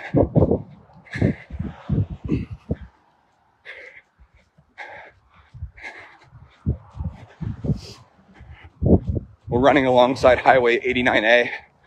This road, yeah, that road goes up and over Mingus Mountain, and you can actually take it all the way to Flagstaff, but we're just kind of running through this open field. We'll eventually branch off into a dirt road and some single track. So my watch just clicked. So 100 miles. Maybe you can pass, can pace Erin or Harley next year. Yeah, I'd love to. Um, I want to be involved with this race every year, whether I'm running or not. It's just such an amazing event. So many inspiring people. And yeah, I mean, I just love this race. So even if I'm not running it, I'll be involved somehow.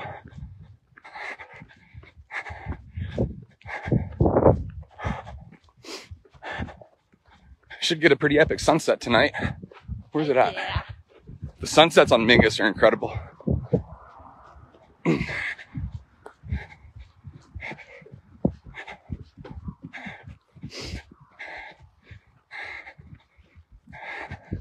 So what else? Should we keep going or should I turn this off? We got four people in here. What do you guys want to talk about? Can you pace with the stroller? Great question. Uh, don't know. I'll find that out for you. Went the wrong way.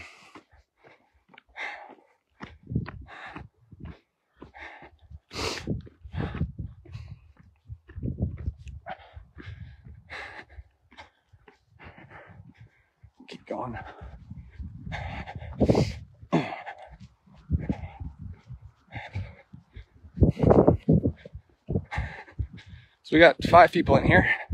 Anyone have any other questions? Questions about the race or how I'm doing or anything like that? I'm at 20% battery, so I'll have to charge my phone soon. So, see the sun setting. Starting to set. We probably got another hour or so of daylight. Clint, what's up, bro? Clint!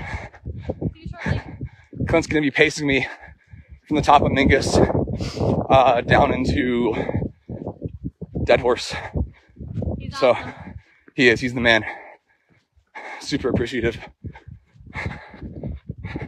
Keep talking, happy to see you doing so well. Yeah, I mean, I feel really good. Uh, today was a definite struggle to get through with the heat. Also, I ran out of water, uh, which was my fault. I thought my water bladder was filled leaving one of the aid stations, and it wasn't. It was like maybe half full. And it's a 14 mile stretch, so how hot it was, I uh, definitely ran out. Rookie mistake. But you had a pacer who had water. Yeah, Erin helped me out. Got some of her water. How do you charge your phone? I have a portable battery pack. It has three USB outlets. So I'll just plug it in there. I also have like a wall charger. So if I'm sleeping, I'll plug it into the wall. Same thing with my watch. I'll have to charge that to make sure it doesn't die. Uh, but yeah, that's how.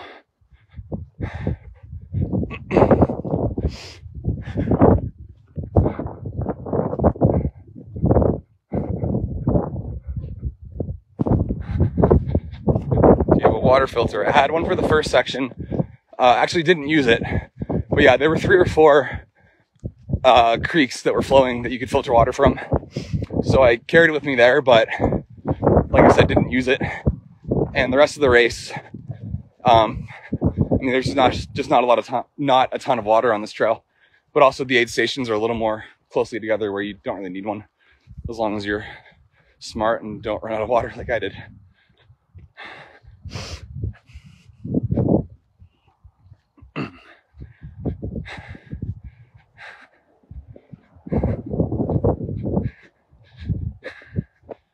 Any other questions from anybody?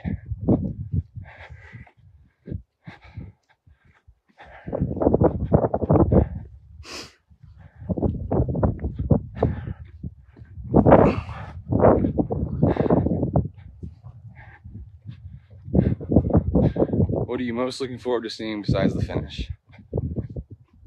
Um, well, the section that I was looking forward to the most is running through Prescott. Just seeing all my old friends and being on all my old trails. Um, which we're kind of past that now, but not really because we're doing the Mingus climb, and that was like the trail I'd run the most when I was here. So after Mingus, um, I don't know. Going through Sedona is always cool. So probably that. but the finish line's gonna be pretty sweet. Awesome views, good work, man. Thank you. Hope you're doing well. Haven't talked to you in a while, Kenny, but thanks for tuning in.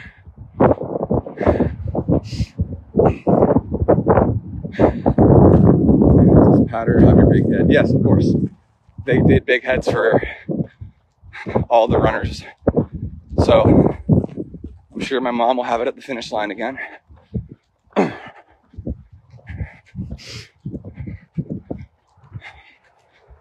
Did you see the sign on the course for 100 miles? No. I haven't seen it.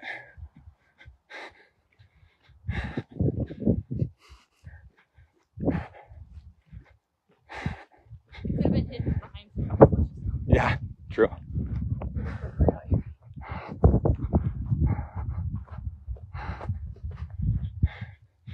The updates. Godspeed. Thank you, Mark. Thanks as always for following along with my adventures. All right, I think I'm going to sign off. Uh, thanks for tuning in and check back in tomorrow.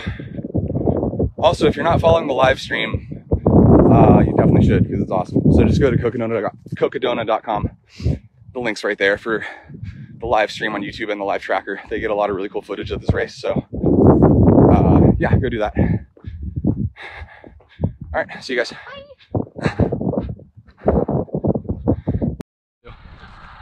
but yeah, so we are over 100 miles. We're actually almost at 101.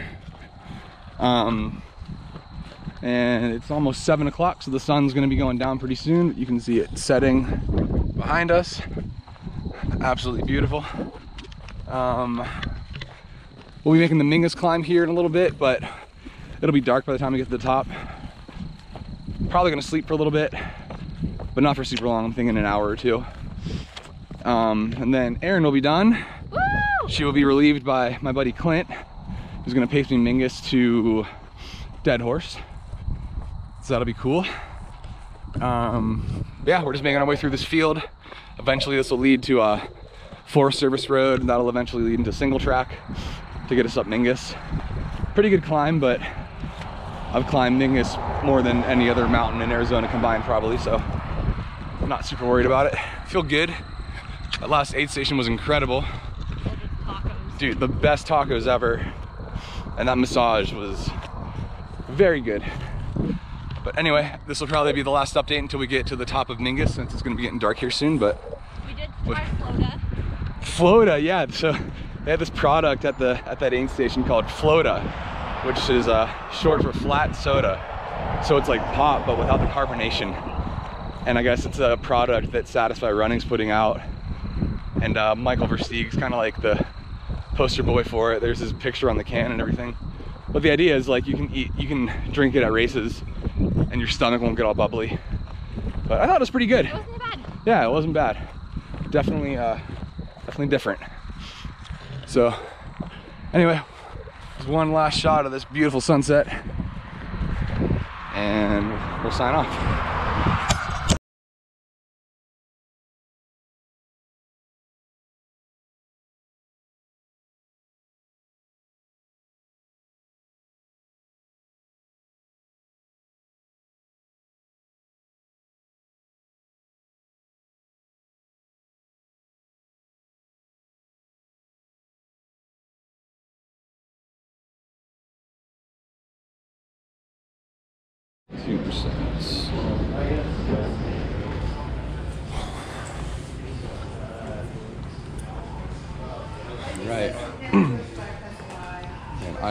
I was a mess last night. Whew.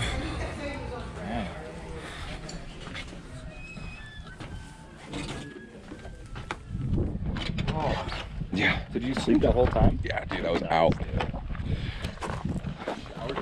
No, I just slept. Um, so we got into Mingus last night at about 11:30. Uh, I had some lasagna and I was so exhausted. Definitely another low point. So I just slept in one of these cabins for about four hours, maybe three and a half. It's probably midnight by the time I got to sleep. So midnight to 3:30, and it is a little before four in the morning now. Here with my buddy Clint, pacing me down to Dead Horse. So we're gonna head out. Sunrise here on day three. Coming down Mingus into Jerome. Made it through another night and feel really good after getting that sleep, much needed. But sunrise is beautiful. Look at that.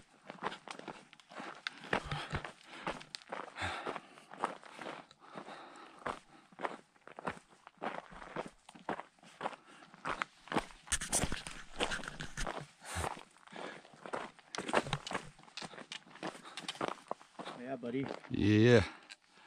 Get some good footage? Yeah. Right on. Go for it.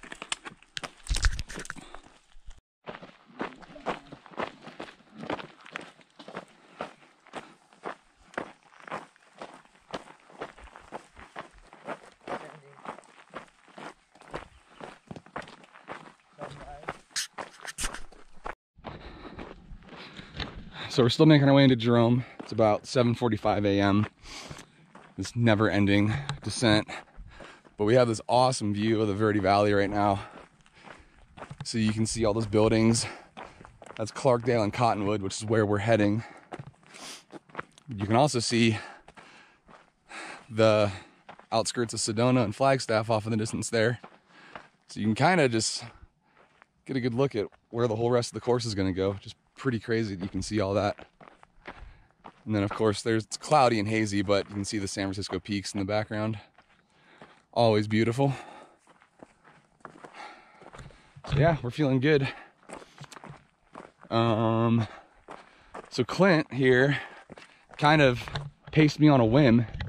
He was rolling into Whiskey Row just to just to see me, following me on the tracker, and so he pulled in and I was getting ready to head out.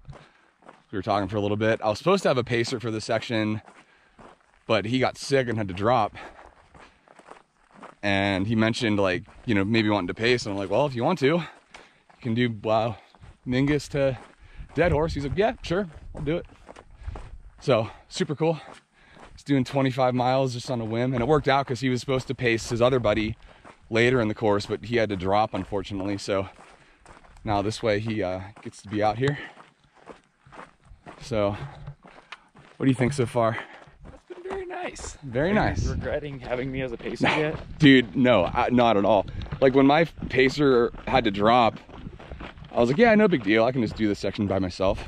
But like, I was in such bad shape coming into Mingus last night that like, yeah, just knowing that you'd be out here with me was like super reassuring. So The lasagna helped too. the lasagna was super good.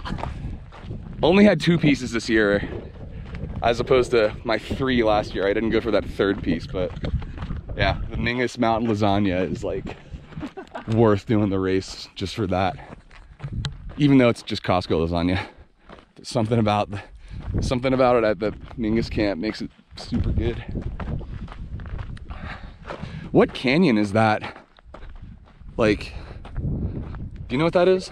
Is that Sycamore Canyon? That's what I was thinking. That's incredible. Yeah, I need to do more exploring there. Yeah, I've done a few trails there, but they have a Sycamore Rim Trail. It's like 12 miles, Oh, nice. uh, 12 mile loop. And so I'd like to do the full thing, just haven't done it yet. But it's a really pretty area. Put it on the list. Yeah, it's on the list.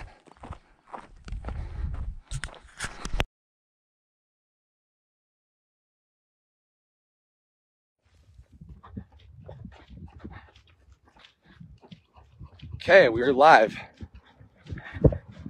Cocodona 250, day three. We are just past the halfway point, so my watch says 127 miles. Um, we are getting ready to drop into the Jerome aid station. And I felt horrible after the Mingus climb last night. I slept for about three hours up there. Woke up feeling super refreshed, so feeling good again. And we're just shuffling it in here with Clint, Howdy, y'all. fellow patter, who uh, very kindly offered to pace me on a whim. Mingus to Dead Horse. Here's the beautiful view of Jerome.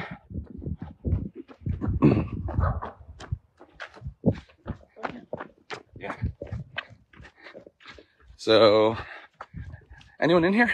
Anyone watching? Looks like we got one person. Pam Film, hey, what's up? So we're coming into the Jerome aid station, like mile 128 at Cocodona, a little more, a little past halfway point. Um, and I'm feeling good, feeling strong. Got a couple hours of sleep last night.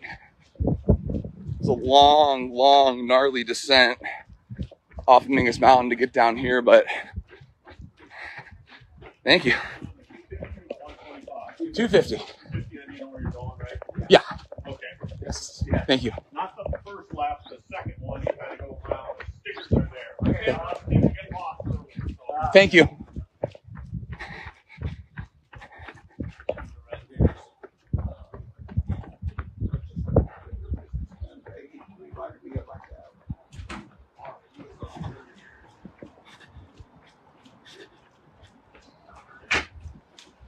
This is uh this is Jerome.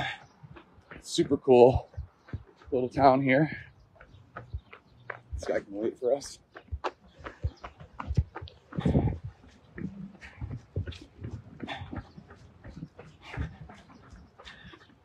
Your sleep strategy will serve you well once the baby comes. Great practice.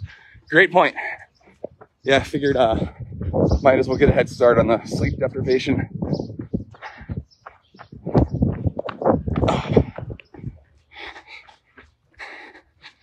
Howdy. Howdy. Um, yeah, we should be less than a mile to the aid station. So many cool things here. Look at all that. Super cool. I love this town. Look at these cool little stickers we're following.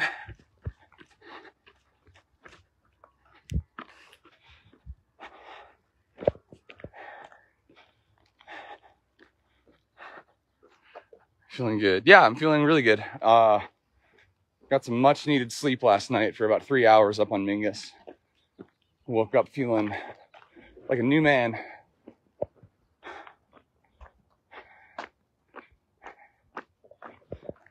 And it was about this point in the race last year where my ankle was a softball. So still have normal looking ankles, which is a very good thing. We're still going the right way, right? All right. Oh yeah.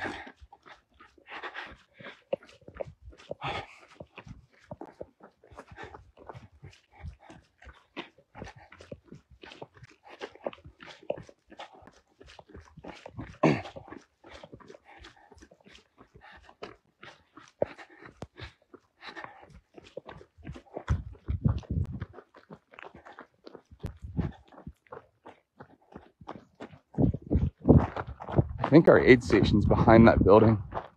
Where is it? I think we follow that where that car's going. Yeah, I think that's right. Goes down there. Are you taking as many pictures as you did last year? Uh, not quite as many. I'm taking enough, adequate amount.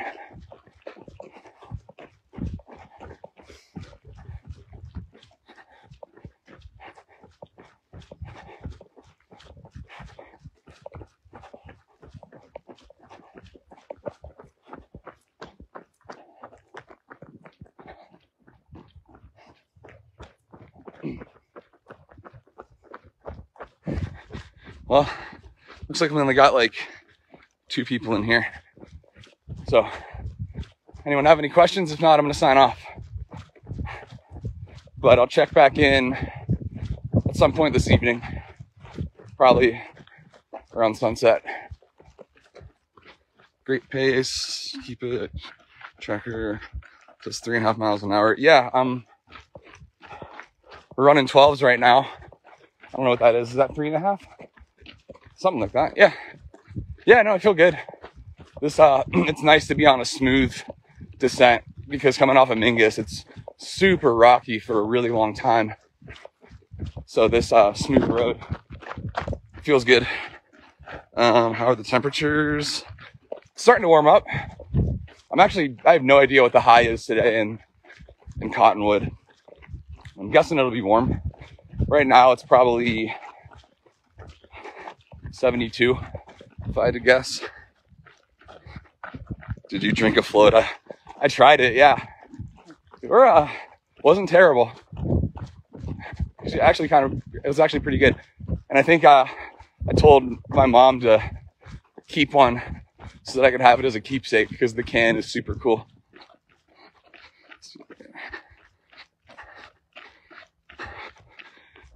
So, cool. I'm gonna sign off. See you guys later. There we go.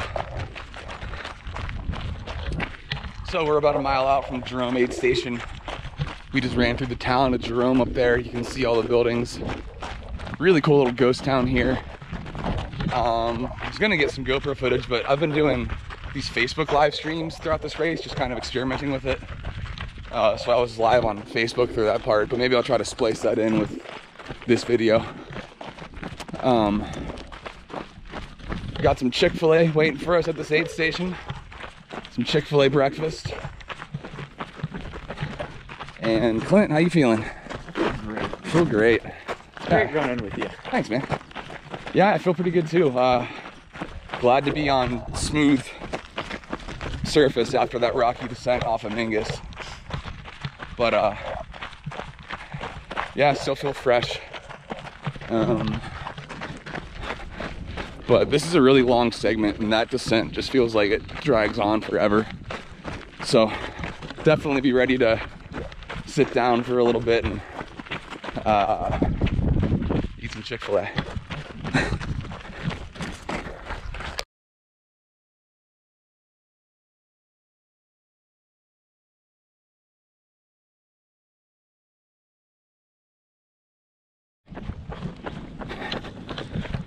All right, got a wardrobe change, got some food.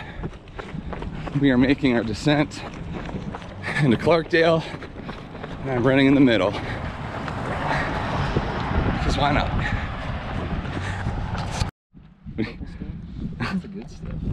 So this descent into Clarkdale, we just follow like this service road, and there's just like all kinds of broken glass and trash and crap everywhere. Pretty gnarly. And then you contrast it with like that view, and it's beautiful. It's super weird. I remember this descent being horrible last year, just with all the loose rock. Uh, so we'll see how it is this year. But yeah, it's super weird. You're like running through a junkyard to get down to Clarkdale. So we've got, I think like an eight mile section until we're at the Dead Horse Aid Station. Nine-ish. Nine-ish? All right, nine-ish. Um, at which point Clint will be done. He'll be being relieved by my friend Brandon. Brandon will be pacing me up to Munds Park, I believe. Four segments with Brandon, so.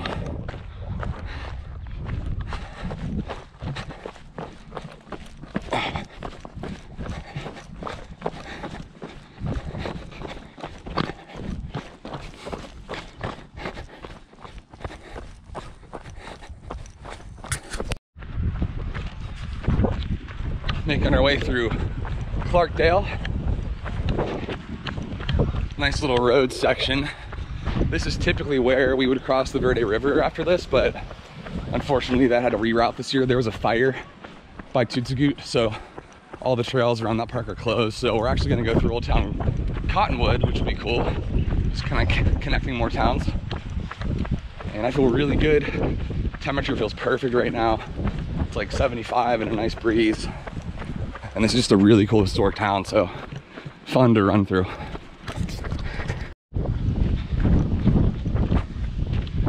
We are in Old Town Cottonwood. We're supposed to cross. Let's cross here. We're gonna cross the road. I think we're going under that gate where it says Gateway to the Verde River. This is the reroute to avoid uh, the trails by Tuzigoot because of the fire. They had to go. We were on this road for a while. It was super busy. But be back on trail soon. We're gonna go over the Verde on a footbridge. Not gonna actually cross it, but could get wet if we wanted to. Gateway to the Verde River. Or what? Oh, think they have to go up, down, back. Oh, seriously? That's super weird. Do we have to do that? Cross. Right. Cross Well, you know what? We're gonna do it. There's no freebies here. So what? Do we have to cross again and then and then cross? Yeah, we did this wrong. no, this is this is documentation that we did the course proper. There we go. There's our sign.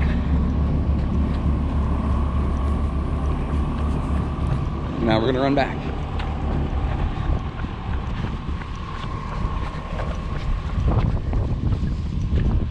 Dude, something smells amazing. Is that bocce? Whatever it is, something smells good. So we're. Oh yeah. yeah.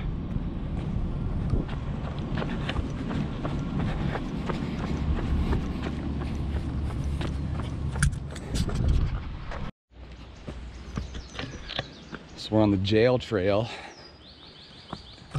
Just going through a beautiful section with all these old cottonwood trees. All this grass here, it's so green down here, it's gorgeous. We're gonna approach the Verde River at some point, um, and we're gonna go over it via footbridge, but it's like really sandy down here too. It's neat. Yeah, cool area.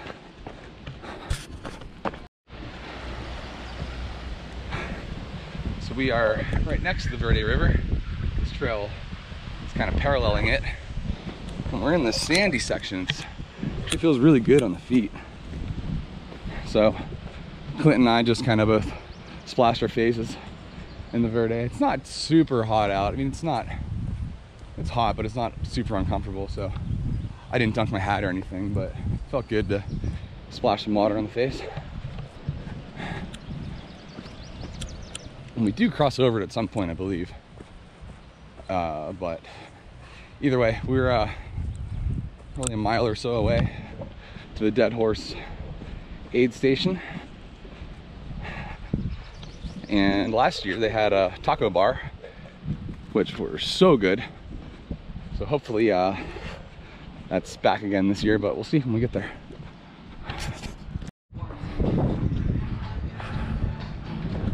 Okay, leaving the Dead Horse aid station, about to go back on the trail, make our way to Deer Pass.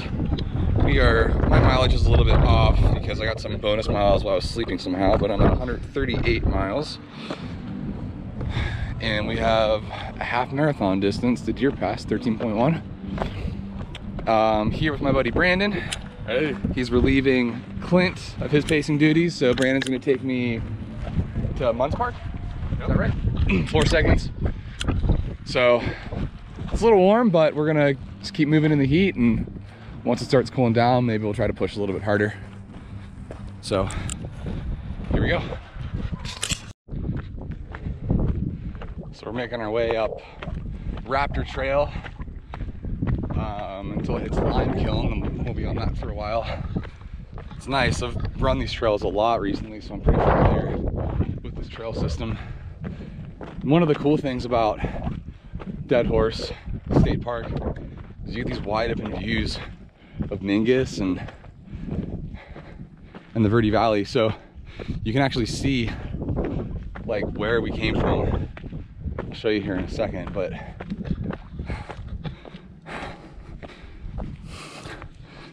so I don't know how well it'll pick up, but the very high point of that mountain, there's some radio towers up there. That's where Mingus Camp was. So like we came up that way to get up to the top of Mingus. Then we wound our way down, kind of following that ridge line. And you can see Jerome. It might be hazy in the camera, but there's just a little town in the middle of those hills with the J there. So that's Jerome, so that's where we were for the aid station. And then we came down into Clarkdale over that way and then ran over to Cottonwood. And now we're here at Dead Horse State Park making our way up to Sedona.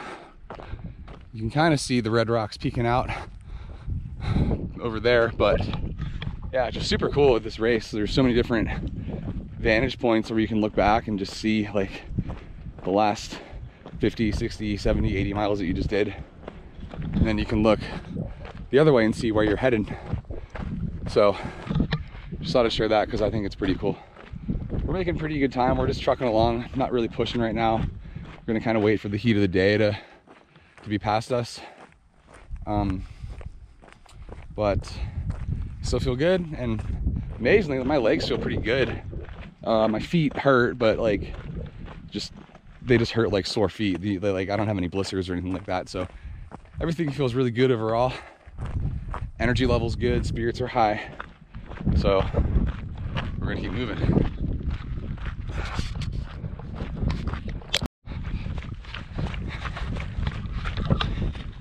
Okay, making our way to Deer Pass. We're up on Lime Kiln. This trail been on since Dead Horse Ranch. But the views up here are so expansive, absolutely incredible, and it's cool because you can just see red rocks of Sedona getting closer and closer, which is exciting. Probably gonna have an epic sunset there tonight, so that'll be something to look forward to. And the stretch of trail has been pretty runnable and feeling like pretty good. So we've been pushing a little bit, not super hard, but definitely running more than we've been walking, I feel like, for the last, I don't know, six miles or so. So it's great. We're running 12, 16 pace right now. Not too bad for being 150 miles into a race. Looks like we got intersection up here. Do you know where we're going? Oh, right. And uh, I Good call. The, looked up directions while you were. While I was being distracted filming.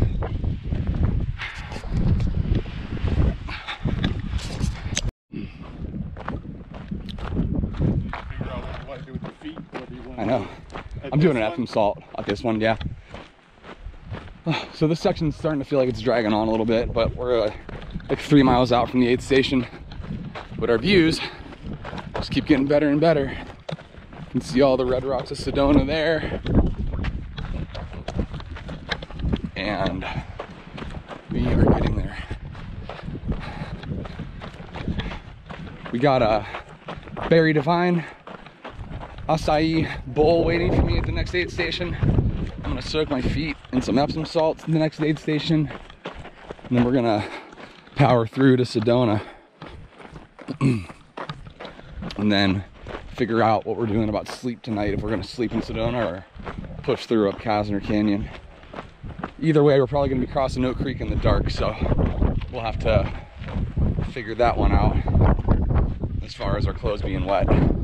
Might be smarter just to take the shoes and socks off and not have cold feet through the middle of the night, but we'll cross that bridge when we get there. But for now, we are almost to Deer Pass.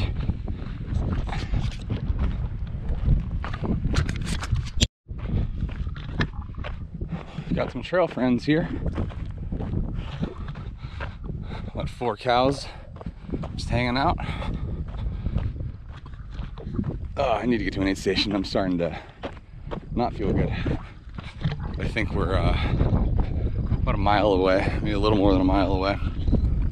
So, might have to walk it in, but uh, made some pretty good time on the stretch, so walking it in should be all right. So, keep plugging away. Oh, made it to Deer Pass.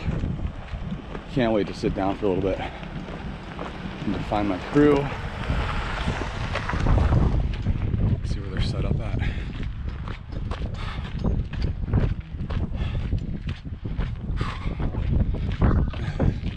And that stretch was tough. Huh.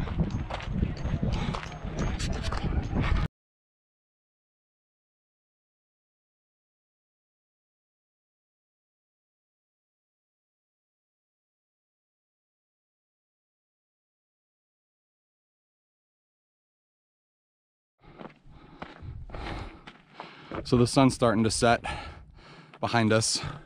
We've been uh, on the segment for a couple of miles now from Deer Pass to Sedona.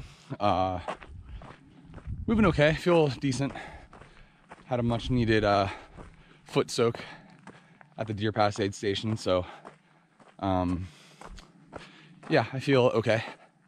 And this is a 14 mile stretch, but there's a water stop at mile seven, so that'll kind of break it up a little bit.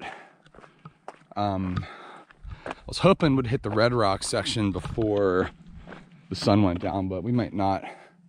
But most likely we'll sleep in Sedona. I'm not sure for how long. Um, I think I have it planned out on my pace chart to be at that aid station for four hours.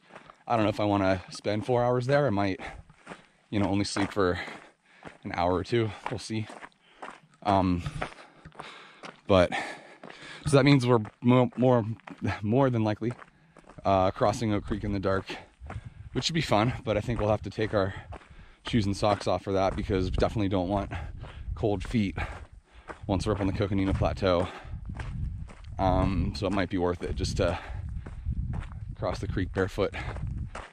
But anyway, we're I'm at 154 miles right now. Um, been out here for 62 hours. Crazy. I mean, I look at like not used to seeing numbers this big on my watch. Just like a few times I've looked at it, I'm like, what? What does that number say? But uh, still got a long ways to go. But at least we have uh, less than 100 miles to go. So I guess that's a good thing. Check these out. Pretty wildflowers there. Um, so yeah, Brandon and I are plugging away. He's gonna be with me until Munds. Uh, yeah. So we're gonna keep moving. See the sunset, dude? It's still pretty awesome. So I'm not sure how well the camera will show this because it's getting kind of dark out, but we just rounded this corner and had this view and bigger mountain to the left, that's Wilson Mountain. One to the right, that's Casner Canyon that we're gonna climb up. So Oak Creek kind of splits that. So again, like one of the really awesome things about this course is how you can just see what your next distances are from so far away. So we're eventually gonna make it up and over this and we'll drop down, cross Oak Creek and climb up Casner. And then we'll be on the uh, Coconino Plateau.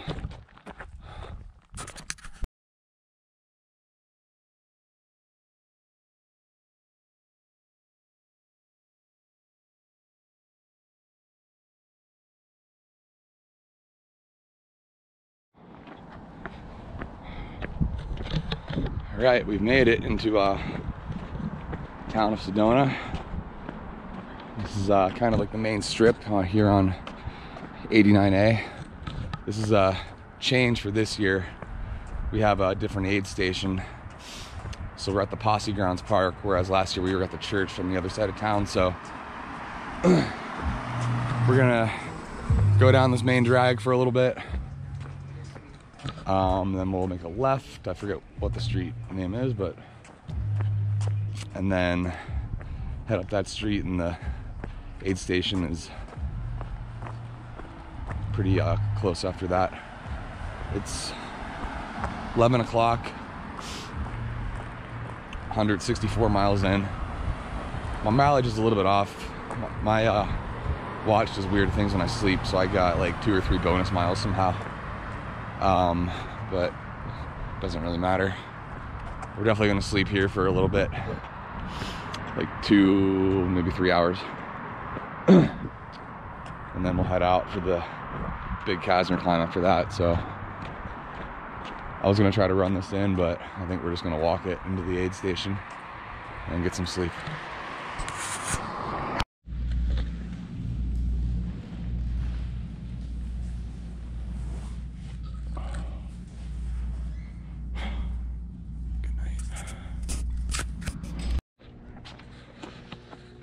Okay, it is 3:10 in the morning. Uh, I slept for about three hours. I think Brandon said he slept for about 10 minutes.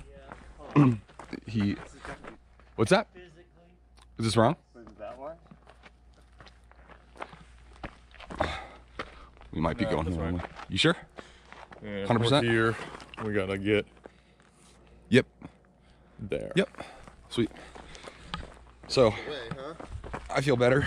Um, it's a little chilly right now. We were just told that it rained and hailed here while we were sleeping, so we kind of got in and slept through the worst part of this. So we're heading to the creek crossing and then up to Schnebly Hill.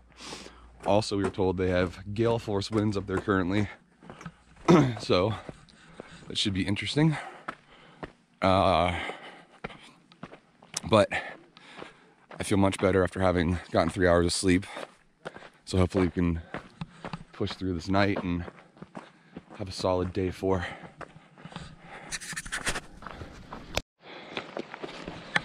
Okay, we are approaching Oak Creek Crossing. Um, it's pretty cold down here. The sun is starting to come up a little bit though. Is there a flag that way, Brandon? Um, so I'm trying to figure out. We are more than likely going to be taking our shoes and socks off, crossing barefoot, putting them back on for the Casner climb.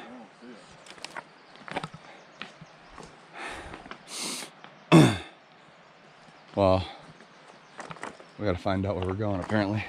I think it's probably this way.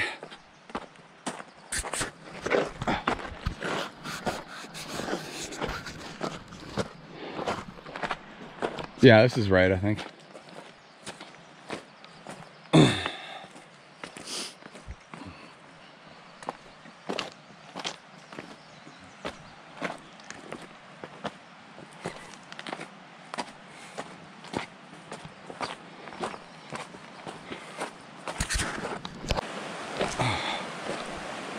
All right.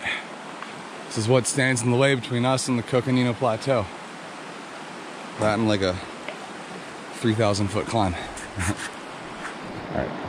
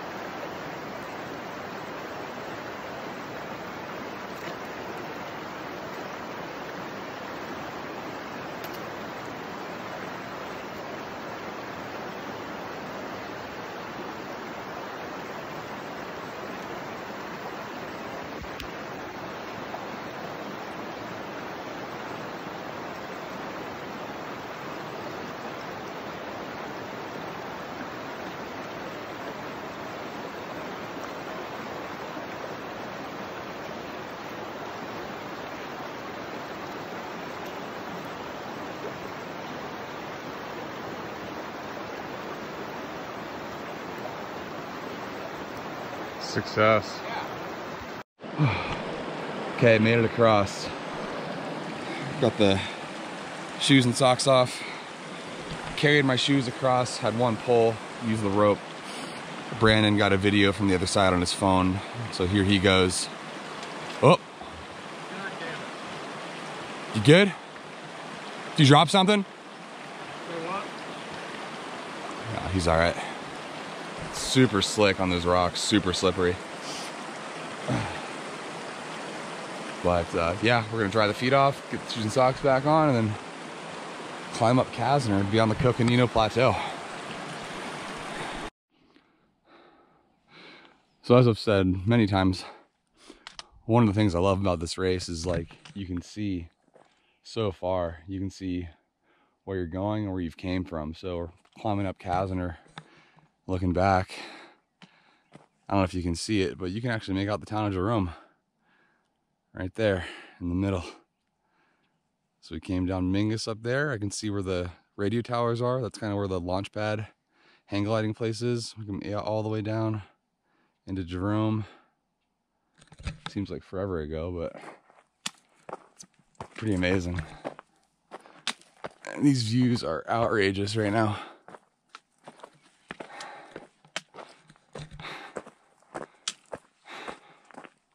Such a peaceful morning.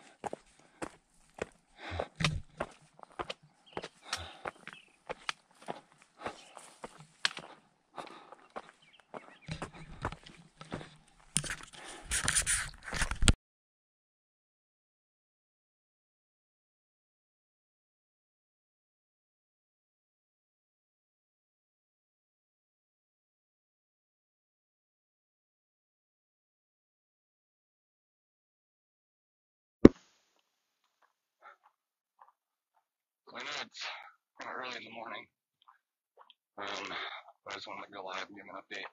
Didn't go live last night because didn't have any service. Um, so right now it's a little after 6 a.m. It's actually 6:01. We just made the Oak Creek crossing. We're climbing up Casner Canyon on our way to the top of the Coconino Plateau. And I don't think anyone's gonna jump in here probably just because it's so early, but is our. And what's crazy is we can see where we came from for the last 80 miles or so. Mingus Mountain, we came down that ridge into the town of Jerome, which you might not be able to see, but you can make it out in the hills back there and through the Verde Valley, rail up into the Coconino Plateau. Super cool. You can see all that. Uh, so this is one of the major climbs of the race. This is about a 2,500 foot climb. Um, then after this, we'll be on the Coconino Plateau for the last 50 miles or so of the race before we climb Elden at mile like 242. Um, then we'll top out there at like 9,300 feet before finishing in Flagstaff. So this is like the second to last major climb that we gotta knock out. There's gonna be a lot of flat, runnable miles after this, and I still feel pretty strong, so I'll be able to move pretty quickly through those sections, I hope. So I'm still hoping for a Friday afternoon finish. Uh, so we just gotta make a good push to get through today and starting to starting to get there. So I just want to give a quick update, give you one more look at the view that we're enjoying up here on the Casner Canyon climb, Cocodona 250. Unbelievable.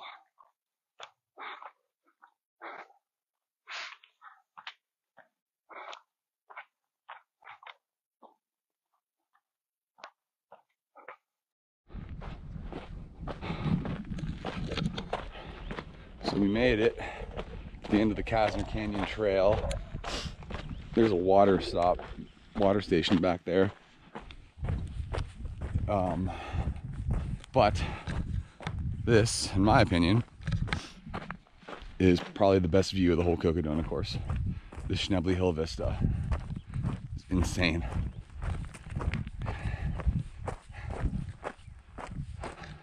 Ready?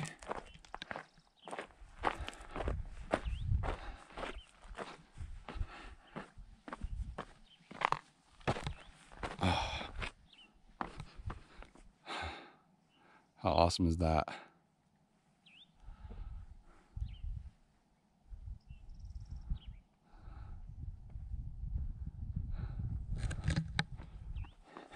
That's why we do this. That's why we put ourselves through torture. Just to get to see these things. Absolutely incredible.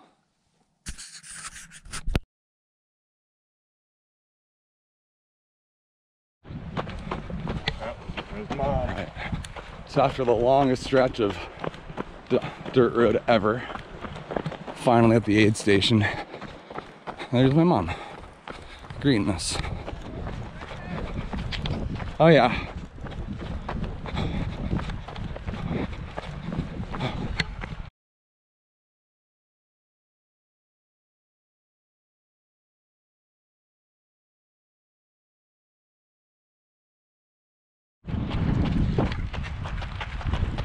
So we're making our way to Munds Park. We've been following this dirt road for eight miles or so.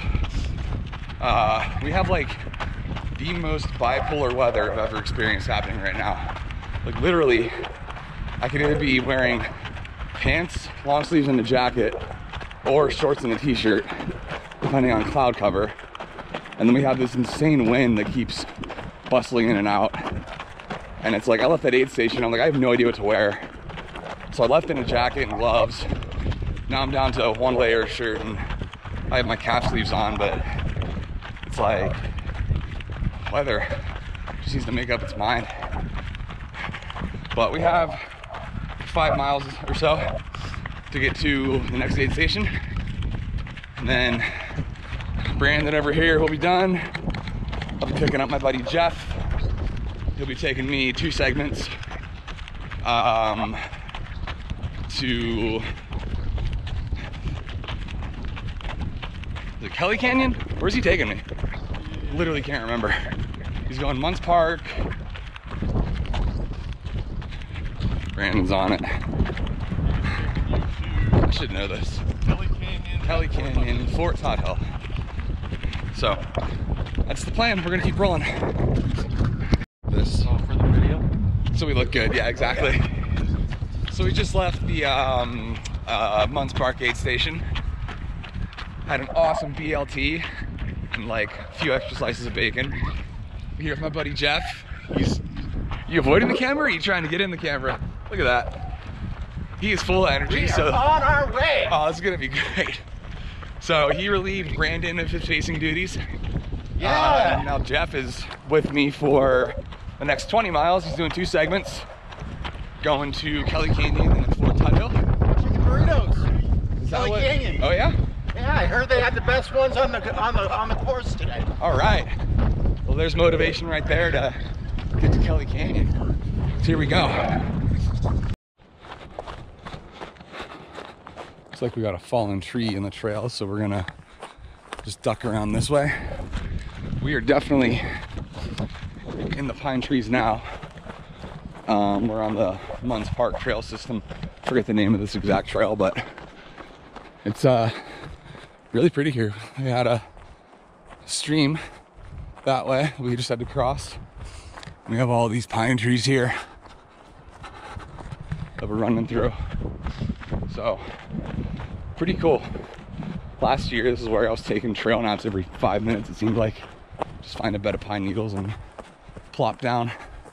But this year, I have way more energy because I've actually been managing my sleep. So, I don't think there would be any need for that. There's this guy catching yeah, up. I mean, I, he tries to shake me, but I can catch up with him. Yeah, well. Remember the name of this trail? Frog Tank Loop. It's Frog Tank. Frog Tank. There's down trees everywhere along this road that we're on. I mean, this is probably at least the 12th one we've had to get up and around. Crazy. And if you look around, there's just fallen trees everywhere in this forest. So, getting a little extra work in here on this stretch. Okay, last major milestone of this race. We have hit 200 miles. We have 50 miles to go. Why not? Great question. Yeah. Kelly Canyon aid station. Chicken tacos. Here we come. Jeff said he's gonna eat about 12 of them. Ah, Baker's dozen. Yeah. But who's counting?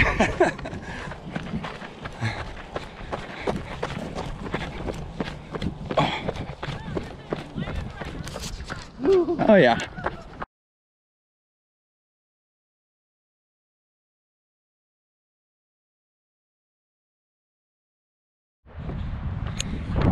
Okay, we are making our way out of Kelly Canyon to Fort Tuthill aid station. It's about an eight and a half mile stretch.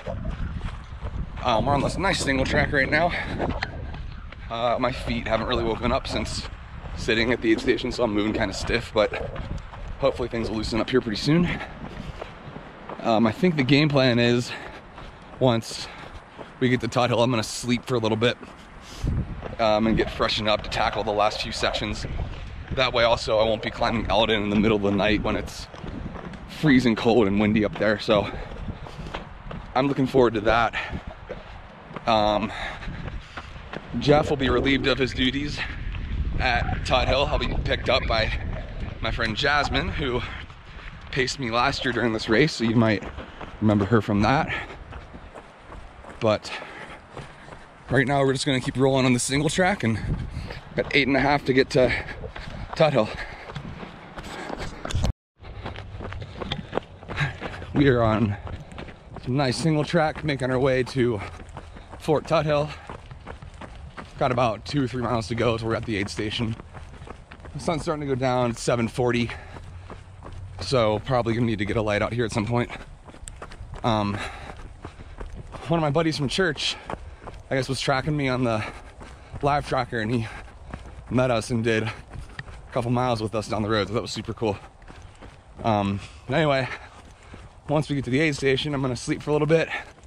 Jeff's gonna be done. I'm gonna pick up Jasmine whenever I wake up. She'll pace me to Walnut Canyon. And then I have another pacer, Walnut Canyon to the finish. So still hoping for a Friday afternoon finish before five o'clock, something like that. And uh, we're making good time, so almost done. So similar in, in strength training, and I do some mobility routines, um, also as part of those strength training days, and um, on some of the off days. Not every day, Okay. but mm, maybe four days a week. Okay. Uh, folks, we're hanging out here with uh, Jeff Browning, the winner of Sedona Canyons 125. Uh, on the screen night now, we're actually at Fort Tuthill, which is basically, in my opinion, the gateway to Flagstaff and to the final st- home stretch of the. And a great aid station. Yeah, Chris Thornley. Uh, Yeah. And uh, actually, I have to correct myself. Kim Casey's in charge this year. Uh, Chris Thornley is the assistant aid station director. But uh, you know, as the, the days go, the the traffic picks up at uh, at that aid station. Um, you know, you you probably were no stranger to most of the trails that we, you you were running this week at the Sedona Canyons 125. Uh, did you have a particular section that uh, you enjoyed more than the rest?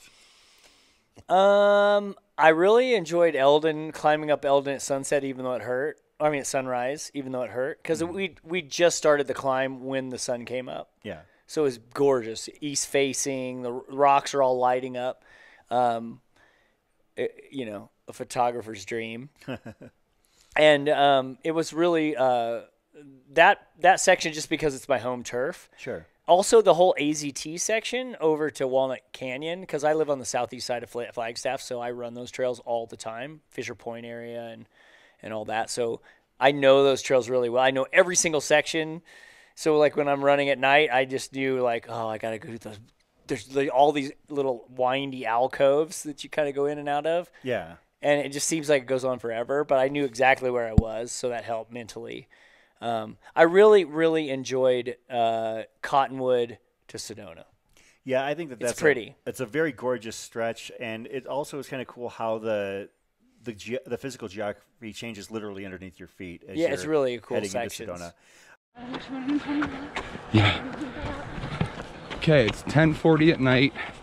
Um, I slept for about an hour at uh, at Tuthill, and then got up, got changed, ate a little bit of food. Now we're headed out on our way to Walnut Canyon. I'm here with Jasmine, doing pacing duties. Um, she was here last year with me as well, so good to have her back. Um, feel really good, but I'm super annoyed because Coros Apex watches are great, but they have the worst charging ports ever. So I was trying to charge it while I was sleeping and it didn't charge. So then I was trying just to manually have it plugged in while I was running, which is actually what I had to do when I slept at Mingus because it also didn't charge then. So I had to manually hold the plug into the port until it charged back up while I was going down Mingus. But anyway, I was doing that and somehow the entire data reset. So now I'm at 0.69 miles for my overall distance, which is so dumb. Um, I'm hoping there's a way that the other data didn't get lost and we can merge it together when we upload it to Strava. But that's really, really annoying. Like I was just holding the plug into the port and then I looked at my watch and it was like on the menu, like the start menu. So I have no idea what happened. So according to my watch, I'm at 0.72 miles. I'm actually at like what 214.72 miles. Uh, but whatever. We're gonna finish this thing strong and uh, hopefully that issue can get resolved. But that's ridiculous. Coros has to. I don't know. I don't know what they have to do. Shouldn't have happened. Yeah, better charger, seriously.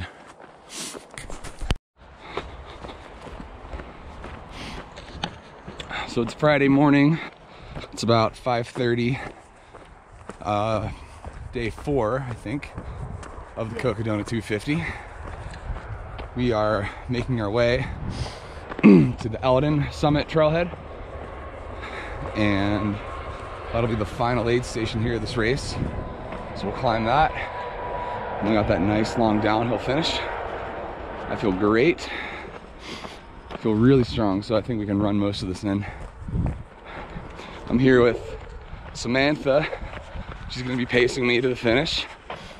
Samantha's actually Jasmine's mom, so she relieved Jasmine of her pacing duties at Walnut Canyon. Sun's coming up over there. It's a little bit chilly, but not super windy at the moment, so it doesn't feel too bad. And I'm hoping the uh, top of Elden won't be too windy either. But feeling really strong and excited to finish this thing. So show you our view right now. We got the sunrise coming up. And then on this side, that's where we're going. Top where all those towers are. It's the Elden climb that awaits us.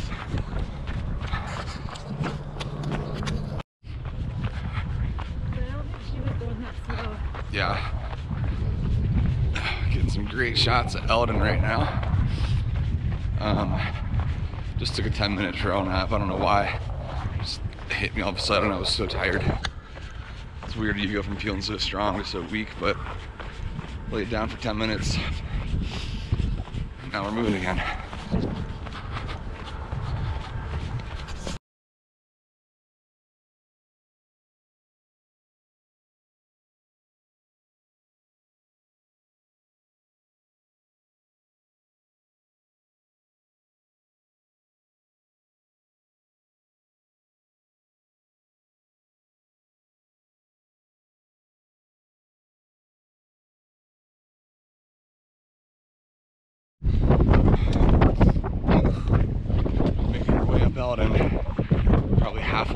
So.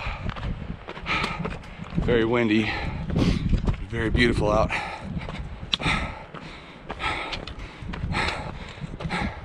Feeling good, feeling strong. Just gonna keep hammering away at this we're at the top.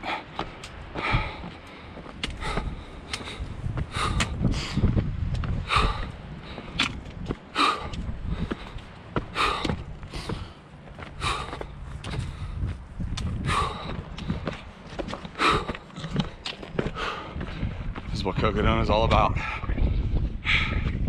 Pretty epic.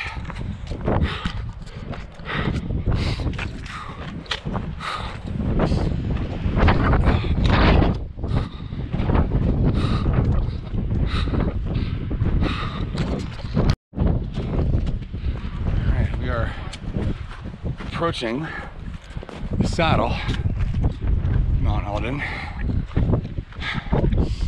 Now, typically in years past,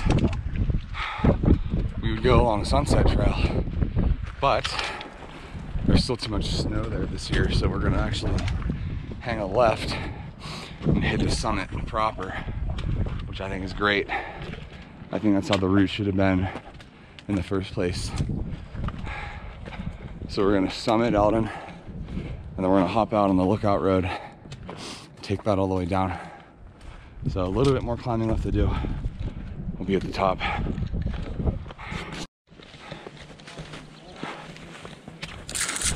Oh. Got that on video. Just slipped and fell in the snow, but I'm all right. I was gonna say, this is like, how epic is it that we started in the desert? You okay, Sam? Did you fall too? Uh huh.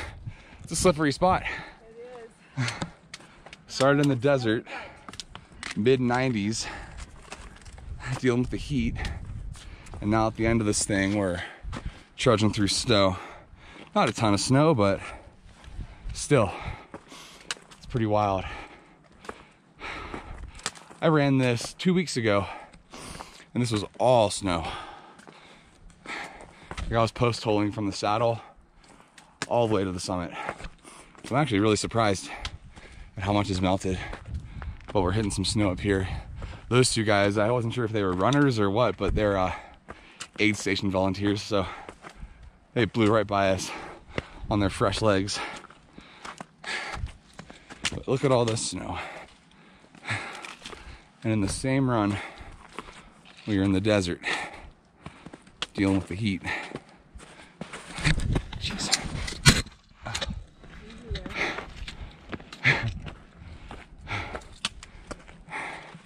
Now, someone who admittedly despises the snow, I gotta say it's still pretty epic to go from desert to this. I'm gonna turn the camera off so I don't fall anymore.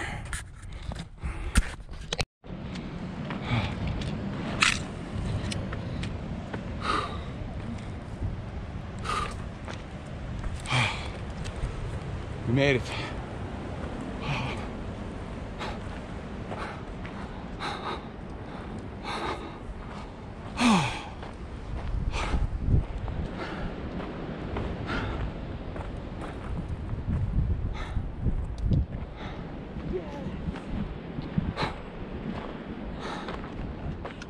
Nice job. I was Yes. trying to give you a fist bump. There we go. Nice job. Wow. So cool up here.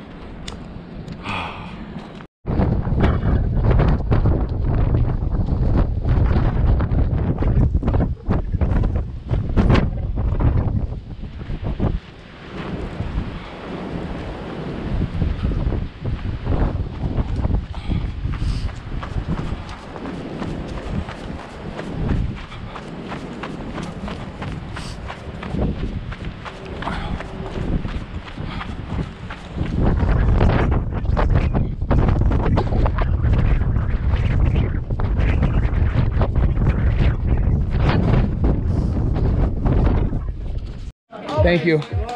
Thank you. Thank you. All right, last aid station. Finish line. What does it say? 8.6? Yes, sir. All right. Let's do this.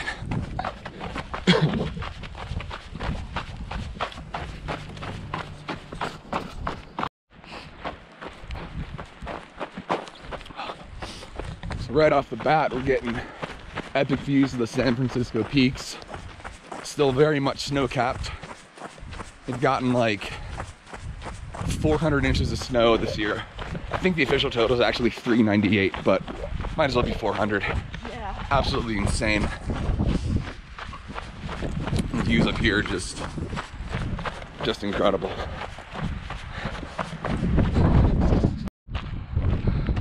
So we are making our way into Buffalo Park. Behind us and see what we just climbed up and over Mount Elden, all the way down that hill.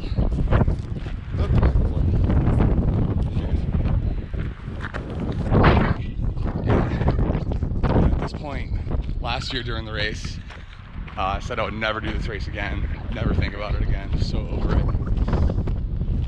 This year it's like the total opposite. Um, just don't want it to be over.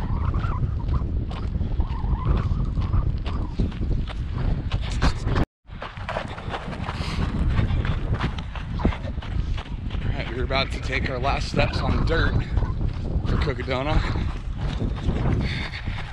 Once we get off this path, we're on roads the rest of the way until we hit Heritage Square.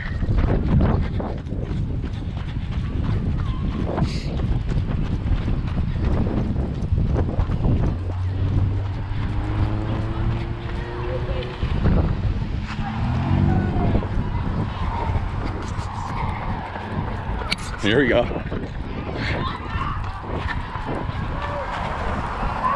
Oh yeah. Can I film you filming me? Absolutely. Sweet. People have done it before. I did it last year. Coming into the finish. Can't wait. Send it to. We also have someone not far behind here. That is that right there is going to be Jason Baum, bib 178. So I'm guessing the gentleman in front of him is Brian Bondi. Yeah, that looks like him based on the photo in the tracker.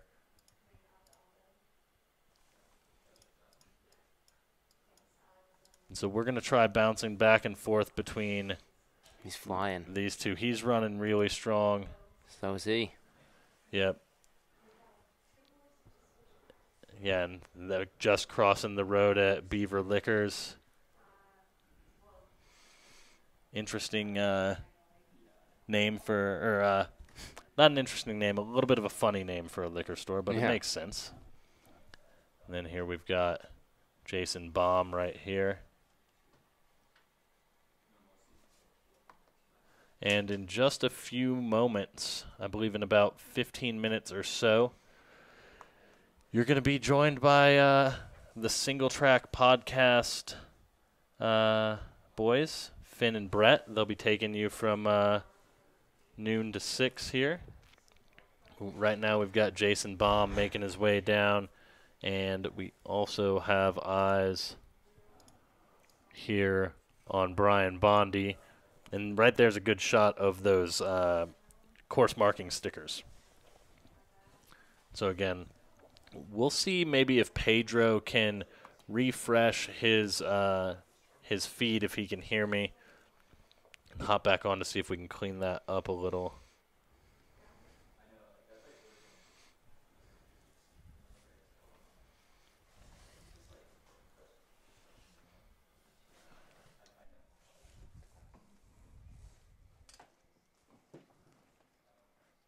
Right now we have Jason Baum. He's looking so strong.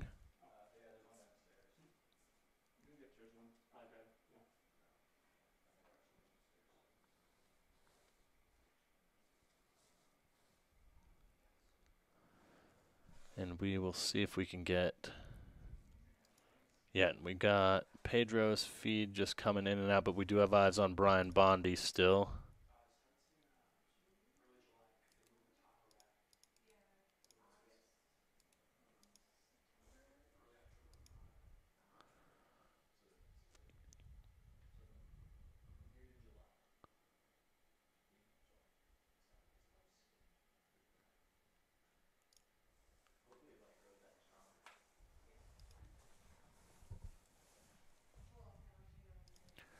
Send it back to the Shad cam here real quick. He's with Jason.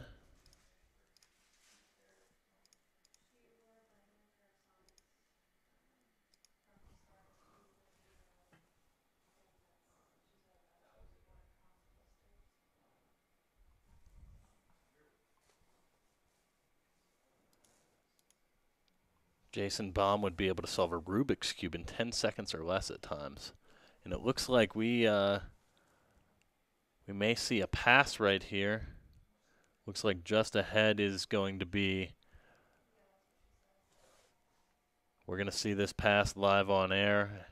It looks like we'll see what happens. We got Jason Baum, and then we've got Brian Bondi right in front of him here.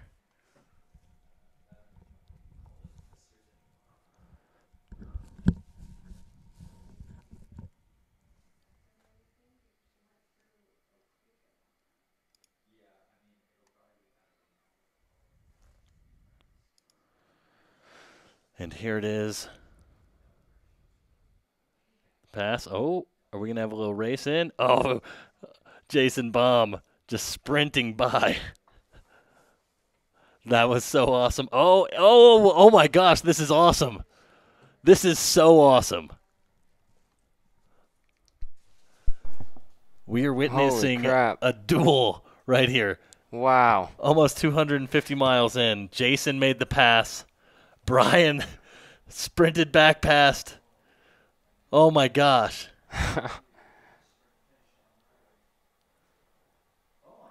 Oh. Oh, now Jason's going to back it down. Yeah. There's still time. Yeah, but what's. Yeah, that's it. Yeah. Oh, okay. Oh, he's going to let him have his moment. Yeah. He's going to let him have his moment. Shout out to Jason Baum. What a mensch. Yeah. I bet that was fun though for both parties. That was awesome for the viewing audience. I know that. then we've got Pedro following uh, following in Brian Bondi. That was amazing.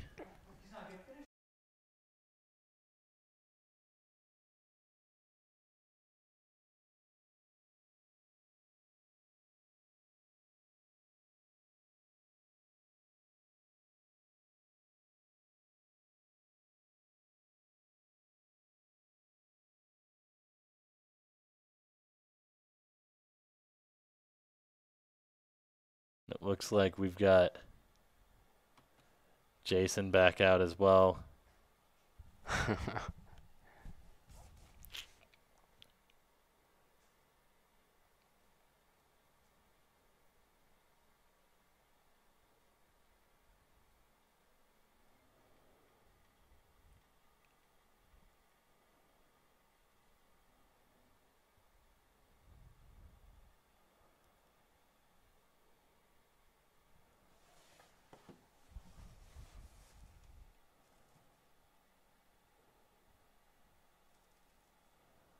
What uh what an amazing amazing moment we had there. Jason finishing so strong still. yeah. He looks like he'd just be out on his his afternoon run. He's not moving stiff at all. We need more cowbell.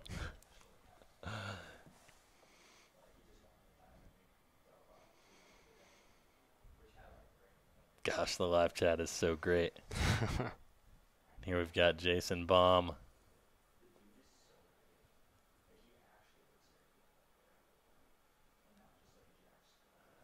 About to make his last road crossing here. A little timing point set up to alert everyone at the finish, maybe.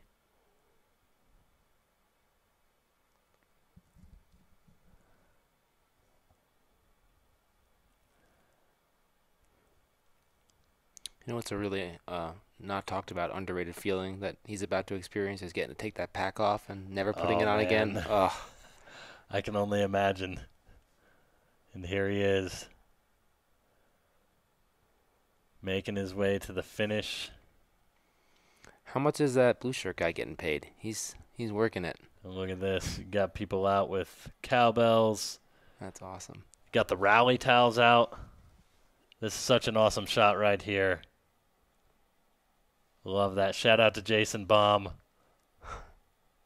Watch. Pause the watch. Pause the watch. It's got to go to. It's got to go to Strava. Or it didn't count, right? That's right.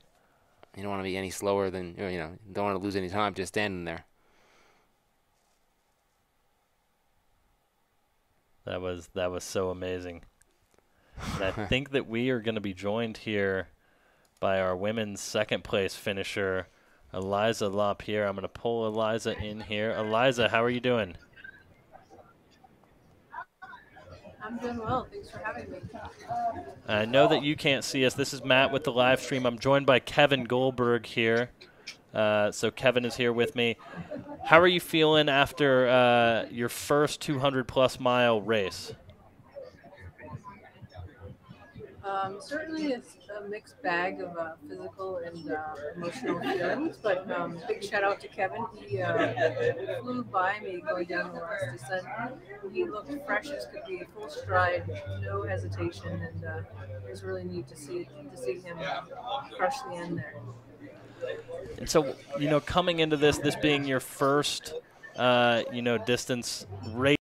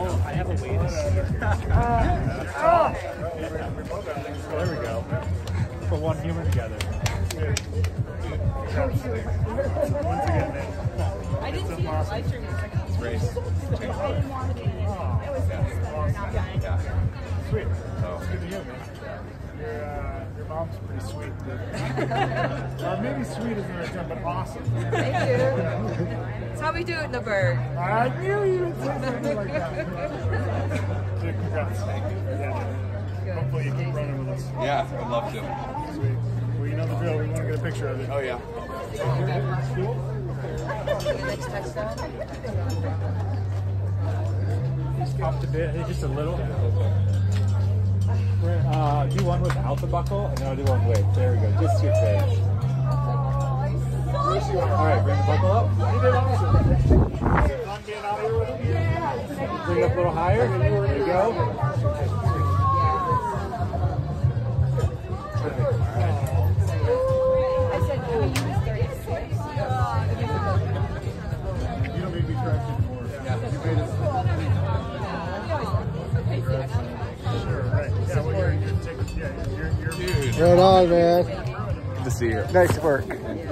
Congrats, man. On you crushing it. Congrats, buddy. Dude. Great. Awesome. Yeah. Great job, buddy. Yeah. Way to go. How are you? Awesome.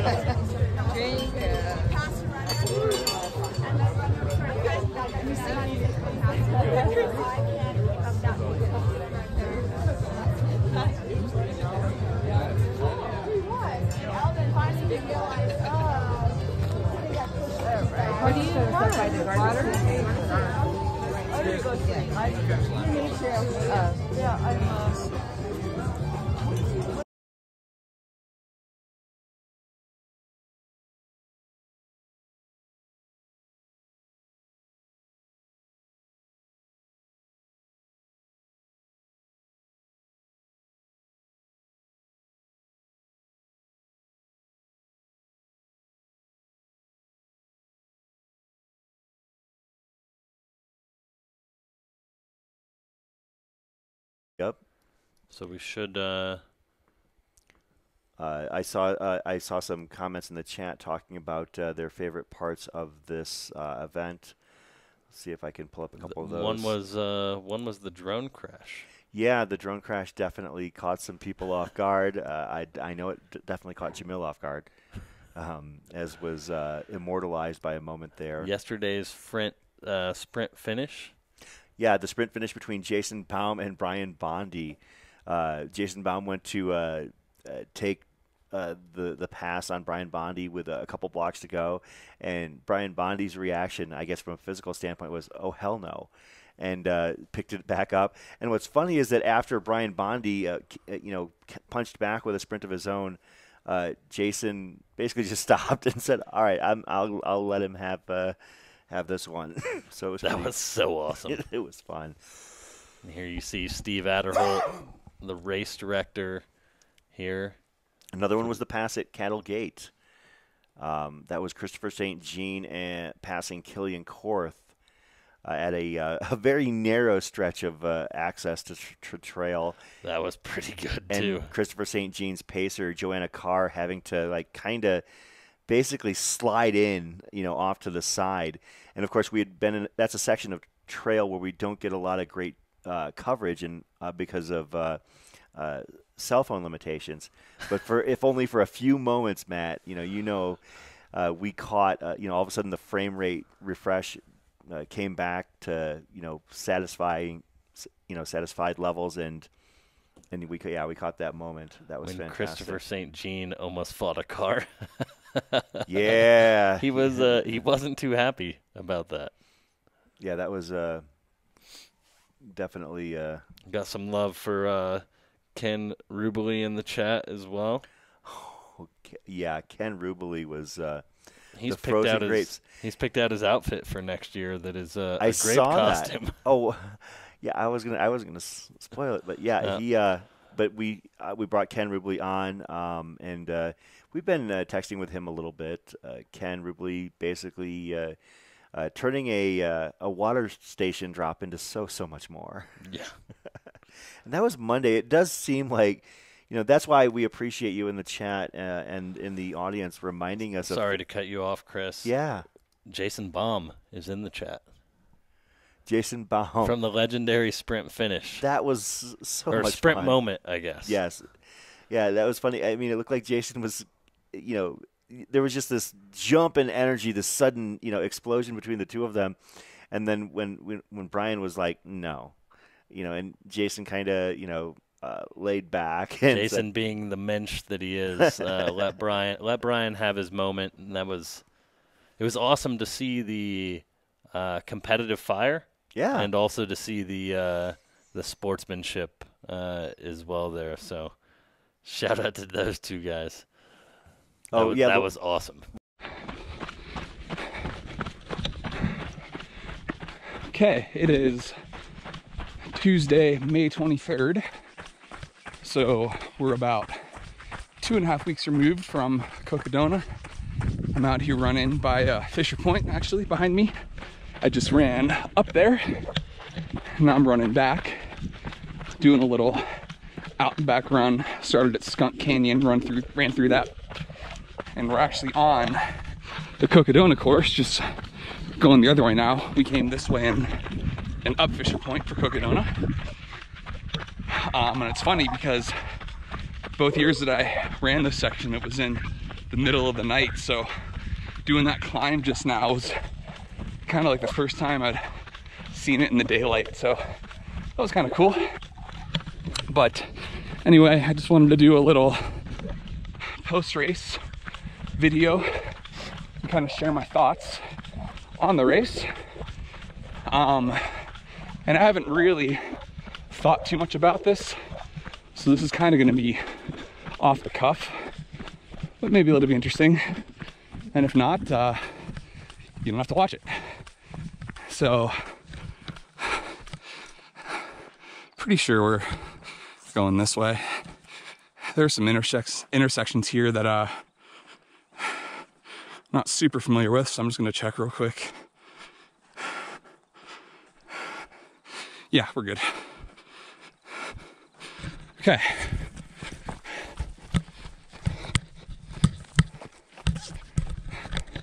All right, so uh, yeah, this was uh, just another great experience this year. You know, totally different than my experience last year. Both great experiences, but definitely very different experiences. So, so first off, I just want to thank, you know, Jamil Coury and Steve Otterholt. I'm sure there's no way that either of them would ever watch this, but in case they do, just thank you guys so much just for creating the race and all the work that goes into permitting and everything behind the scenes, you know.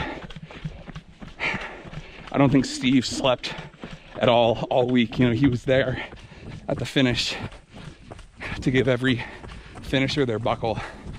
Um, so yeah, just thank you so much to those guys just for creating something really special.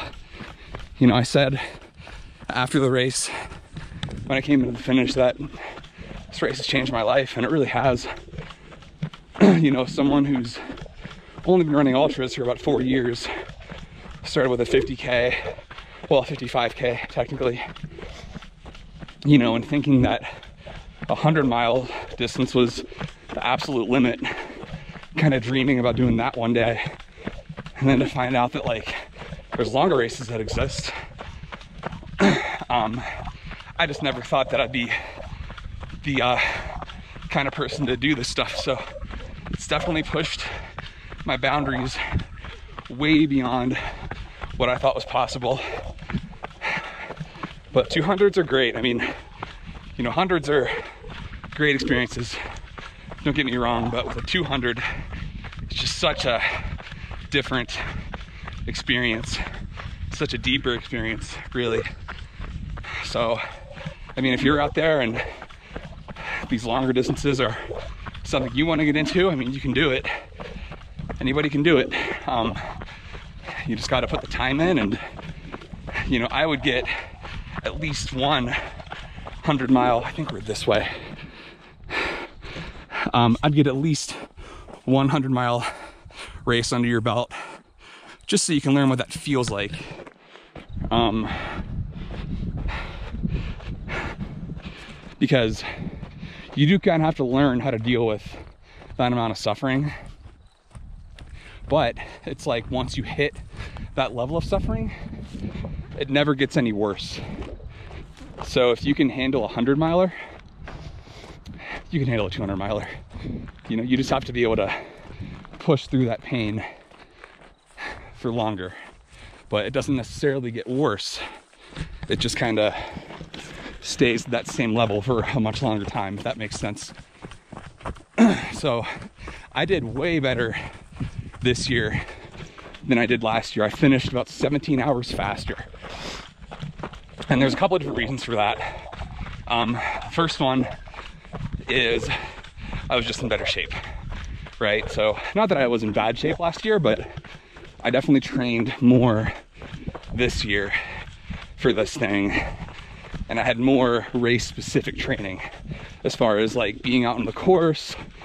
And even if I wasn't on the course, um, just being on trails and being on rocky trails is a huge advantage. I mean, this race in particular, I think the locals have a big advantage because you hear a lot about how rocky it is and how bad the rocks are and how bad the heat is and everything.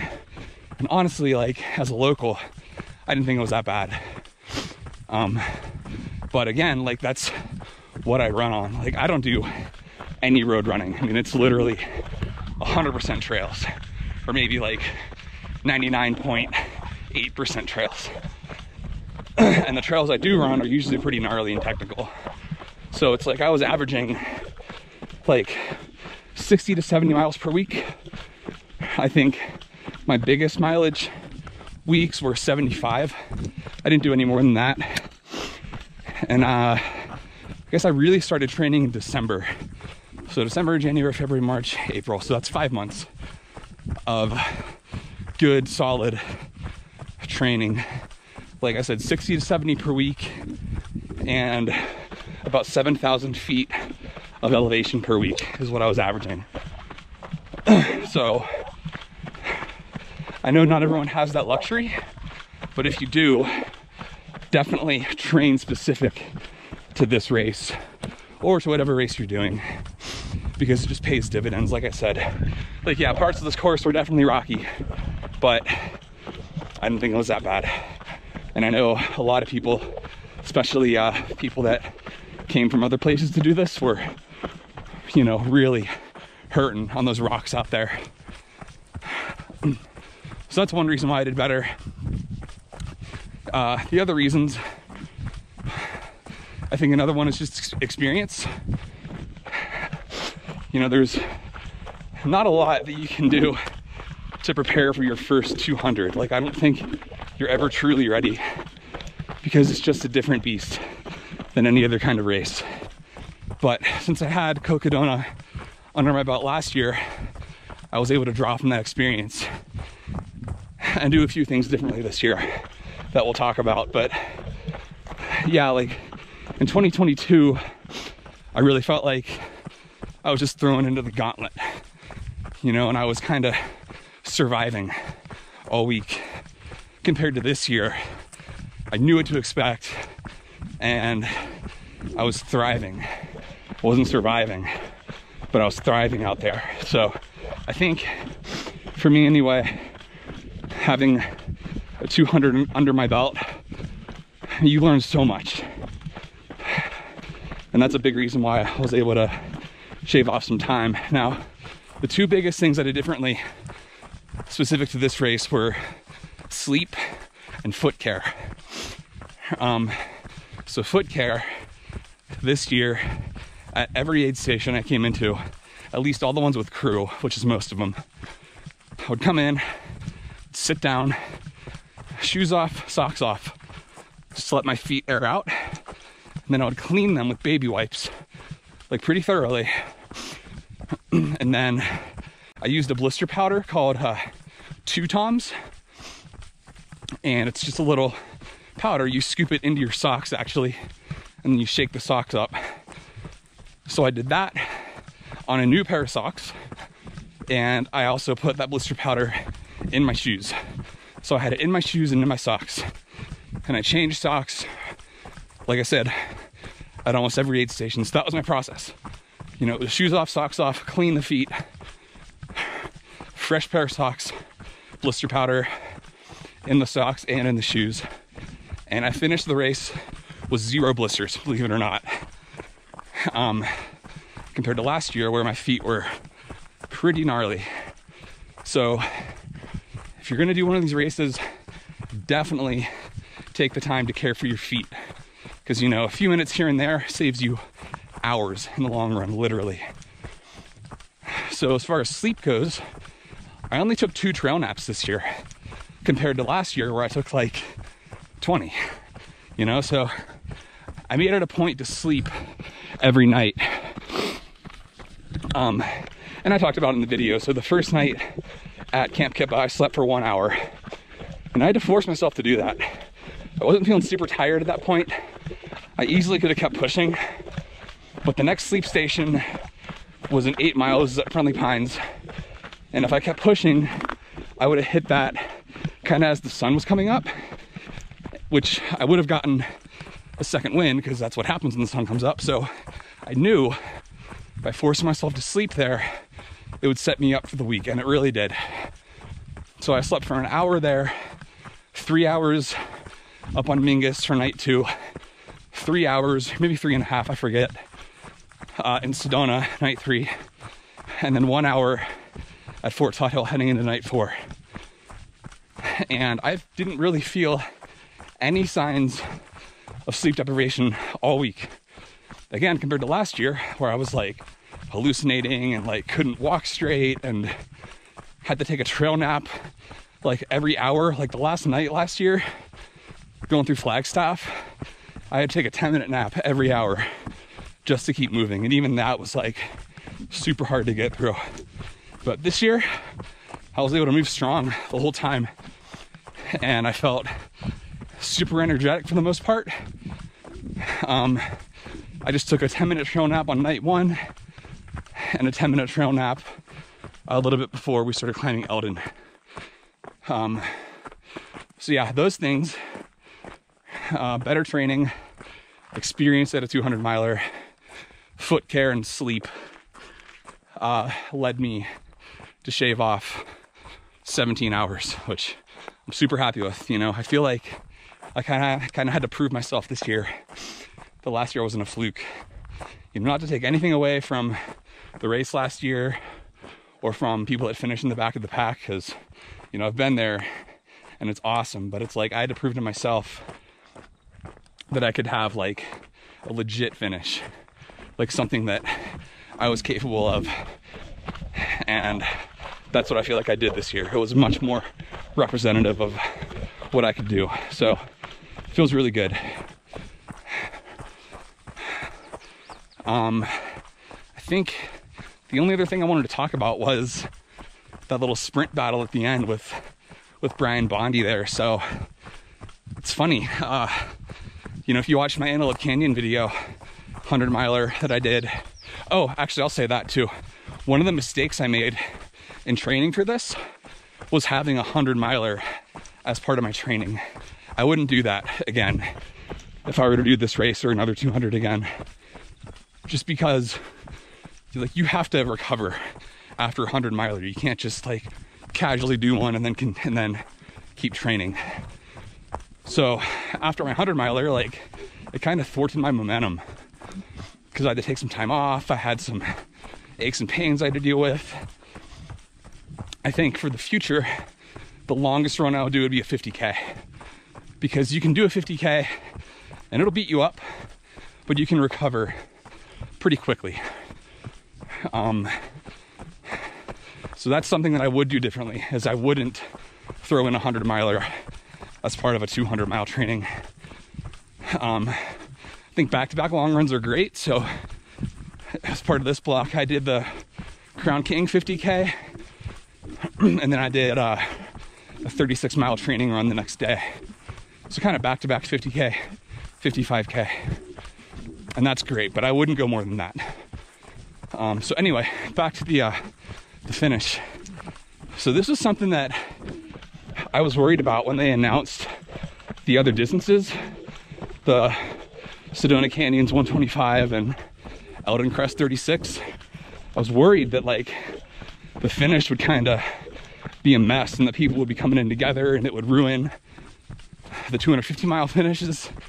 And so it's kind of ironic that I was involved with one with another 250 miler. but uh so I was like definitely aware of that coming in. Like the finish at Cocodona is so special and you don't want to share it with anyone. Like you don't you want it to be your moment, right? So we, we were coming down Beaver Street and I saw him ahead of me, you know, four or five blocks. You can see for a long way there because it's like a slight downhill. And uh you know, I could tell he wasn't moving very well. Um, and he was kind of walking it in, like, but it's totally fine. I mean, it's a 250 mile race. I mean, shoot, I walked it in from from Deer Pass last year. Let's be real. So I know what it's like to be hurting at the end of that, but like, I was feeling so good at the end of this race. Like, I've never been a proponent of like the runner's high, but whatever that is, like, I had it. Like, I'm not just saying this. I think the last five miles of Cocodona was probably the best I've ever felt in my life while running. It was crazy. It was so cool. But like, so I just wanted to run it in strong. Um, but I saw him ahead of me, kind of hurting. So I'm talking to the camera guy that's filming the live stream. I'm like, what should I do here? Should I pass him or like, should I hold off or what should I do? He's like, well, you know, it's your call. you know, we're still a bit of a ways out. And we were maybe a half mile from the finish at that point. So keep moving at my normal pace and uh and I catch up to him. And so I'm catching up to him. Maybe in hindsight I should have like you know kind of had a conversation with him, but I just decided to go for the pass. So I sprinted by him and for a second, you know, I thought that'd be it. And uh again, like maybe I did get a little caught up in the moment just having the live stream on me and feeling so good. Uh, but that's what happened. So I sprinted by him and I thought that would be it. But then all of a sudden, I see. Uh,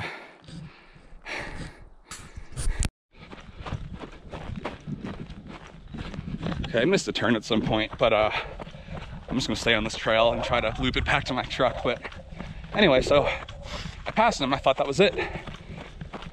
But a split second later, he just sprints by me. And so we both just take off running. And we were probably doing like low sevens. We were moving fast. And uh, so again, I didn't want to steal his moment, didn't want to steal his finish. So once he kind of pushed back, you know, I was like, all right, I'm gonna let him have it. But like, to give him credit, like, I may have like let him have it and quote, like quote unquote, but he kicked it into high gear. Like he was moving fast, like we both were, but he kind of made it like undeniable that that was his spot. So full credit to him. Like I don't want to take anything away from his finish by saying like, yeah, I let him have it. I mean, there might be some truth to that, but like he definitely earned his spot by sprinting past me and moving as well as he did. And apparently like his feet were pretty trashed. So uh and you would never know by the way he was moving, you know, after he sprinted past me. So, uh, full kudos to Brian. Uh, I hope that uh, there's no hard feelings or resentment about that finish. I thought it was pretty epic. I thought the live stream footage is pretty cool. My only regret is if it like took any joy away from his finish because like you know I went back and watched the footage and he did look kind of annoyed crossing the finish line. Um, I don't know if it's just because he was hurting at the end of such a long race or what, but like, if that is the case, and that battle kind of took some of the joy out of his finish, then then I apologize because that's not my intention. And finishing this race is really special, uh, like I said. So, and everyone deserves to have their moment. Um, so I hope that uh, that it didn't take away from from his experience. So I just wanted to say that. Um, I think that's about all I wanted to say. Um, if you've watched this whole video, thank you. I know it's long, but it's a long race, and I wanted to just try to capture an authentic experience at it.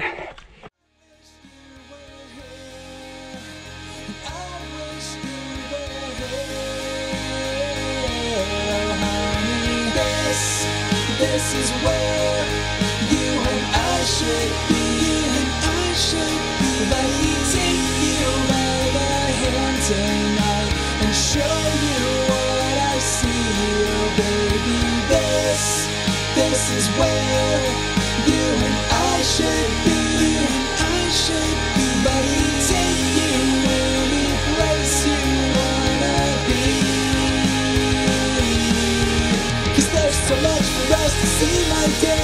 stars at night are crystal clear There's so much for us to see, my dear If you let go of all your fear There's so much for us to see, my dear And I know you love it here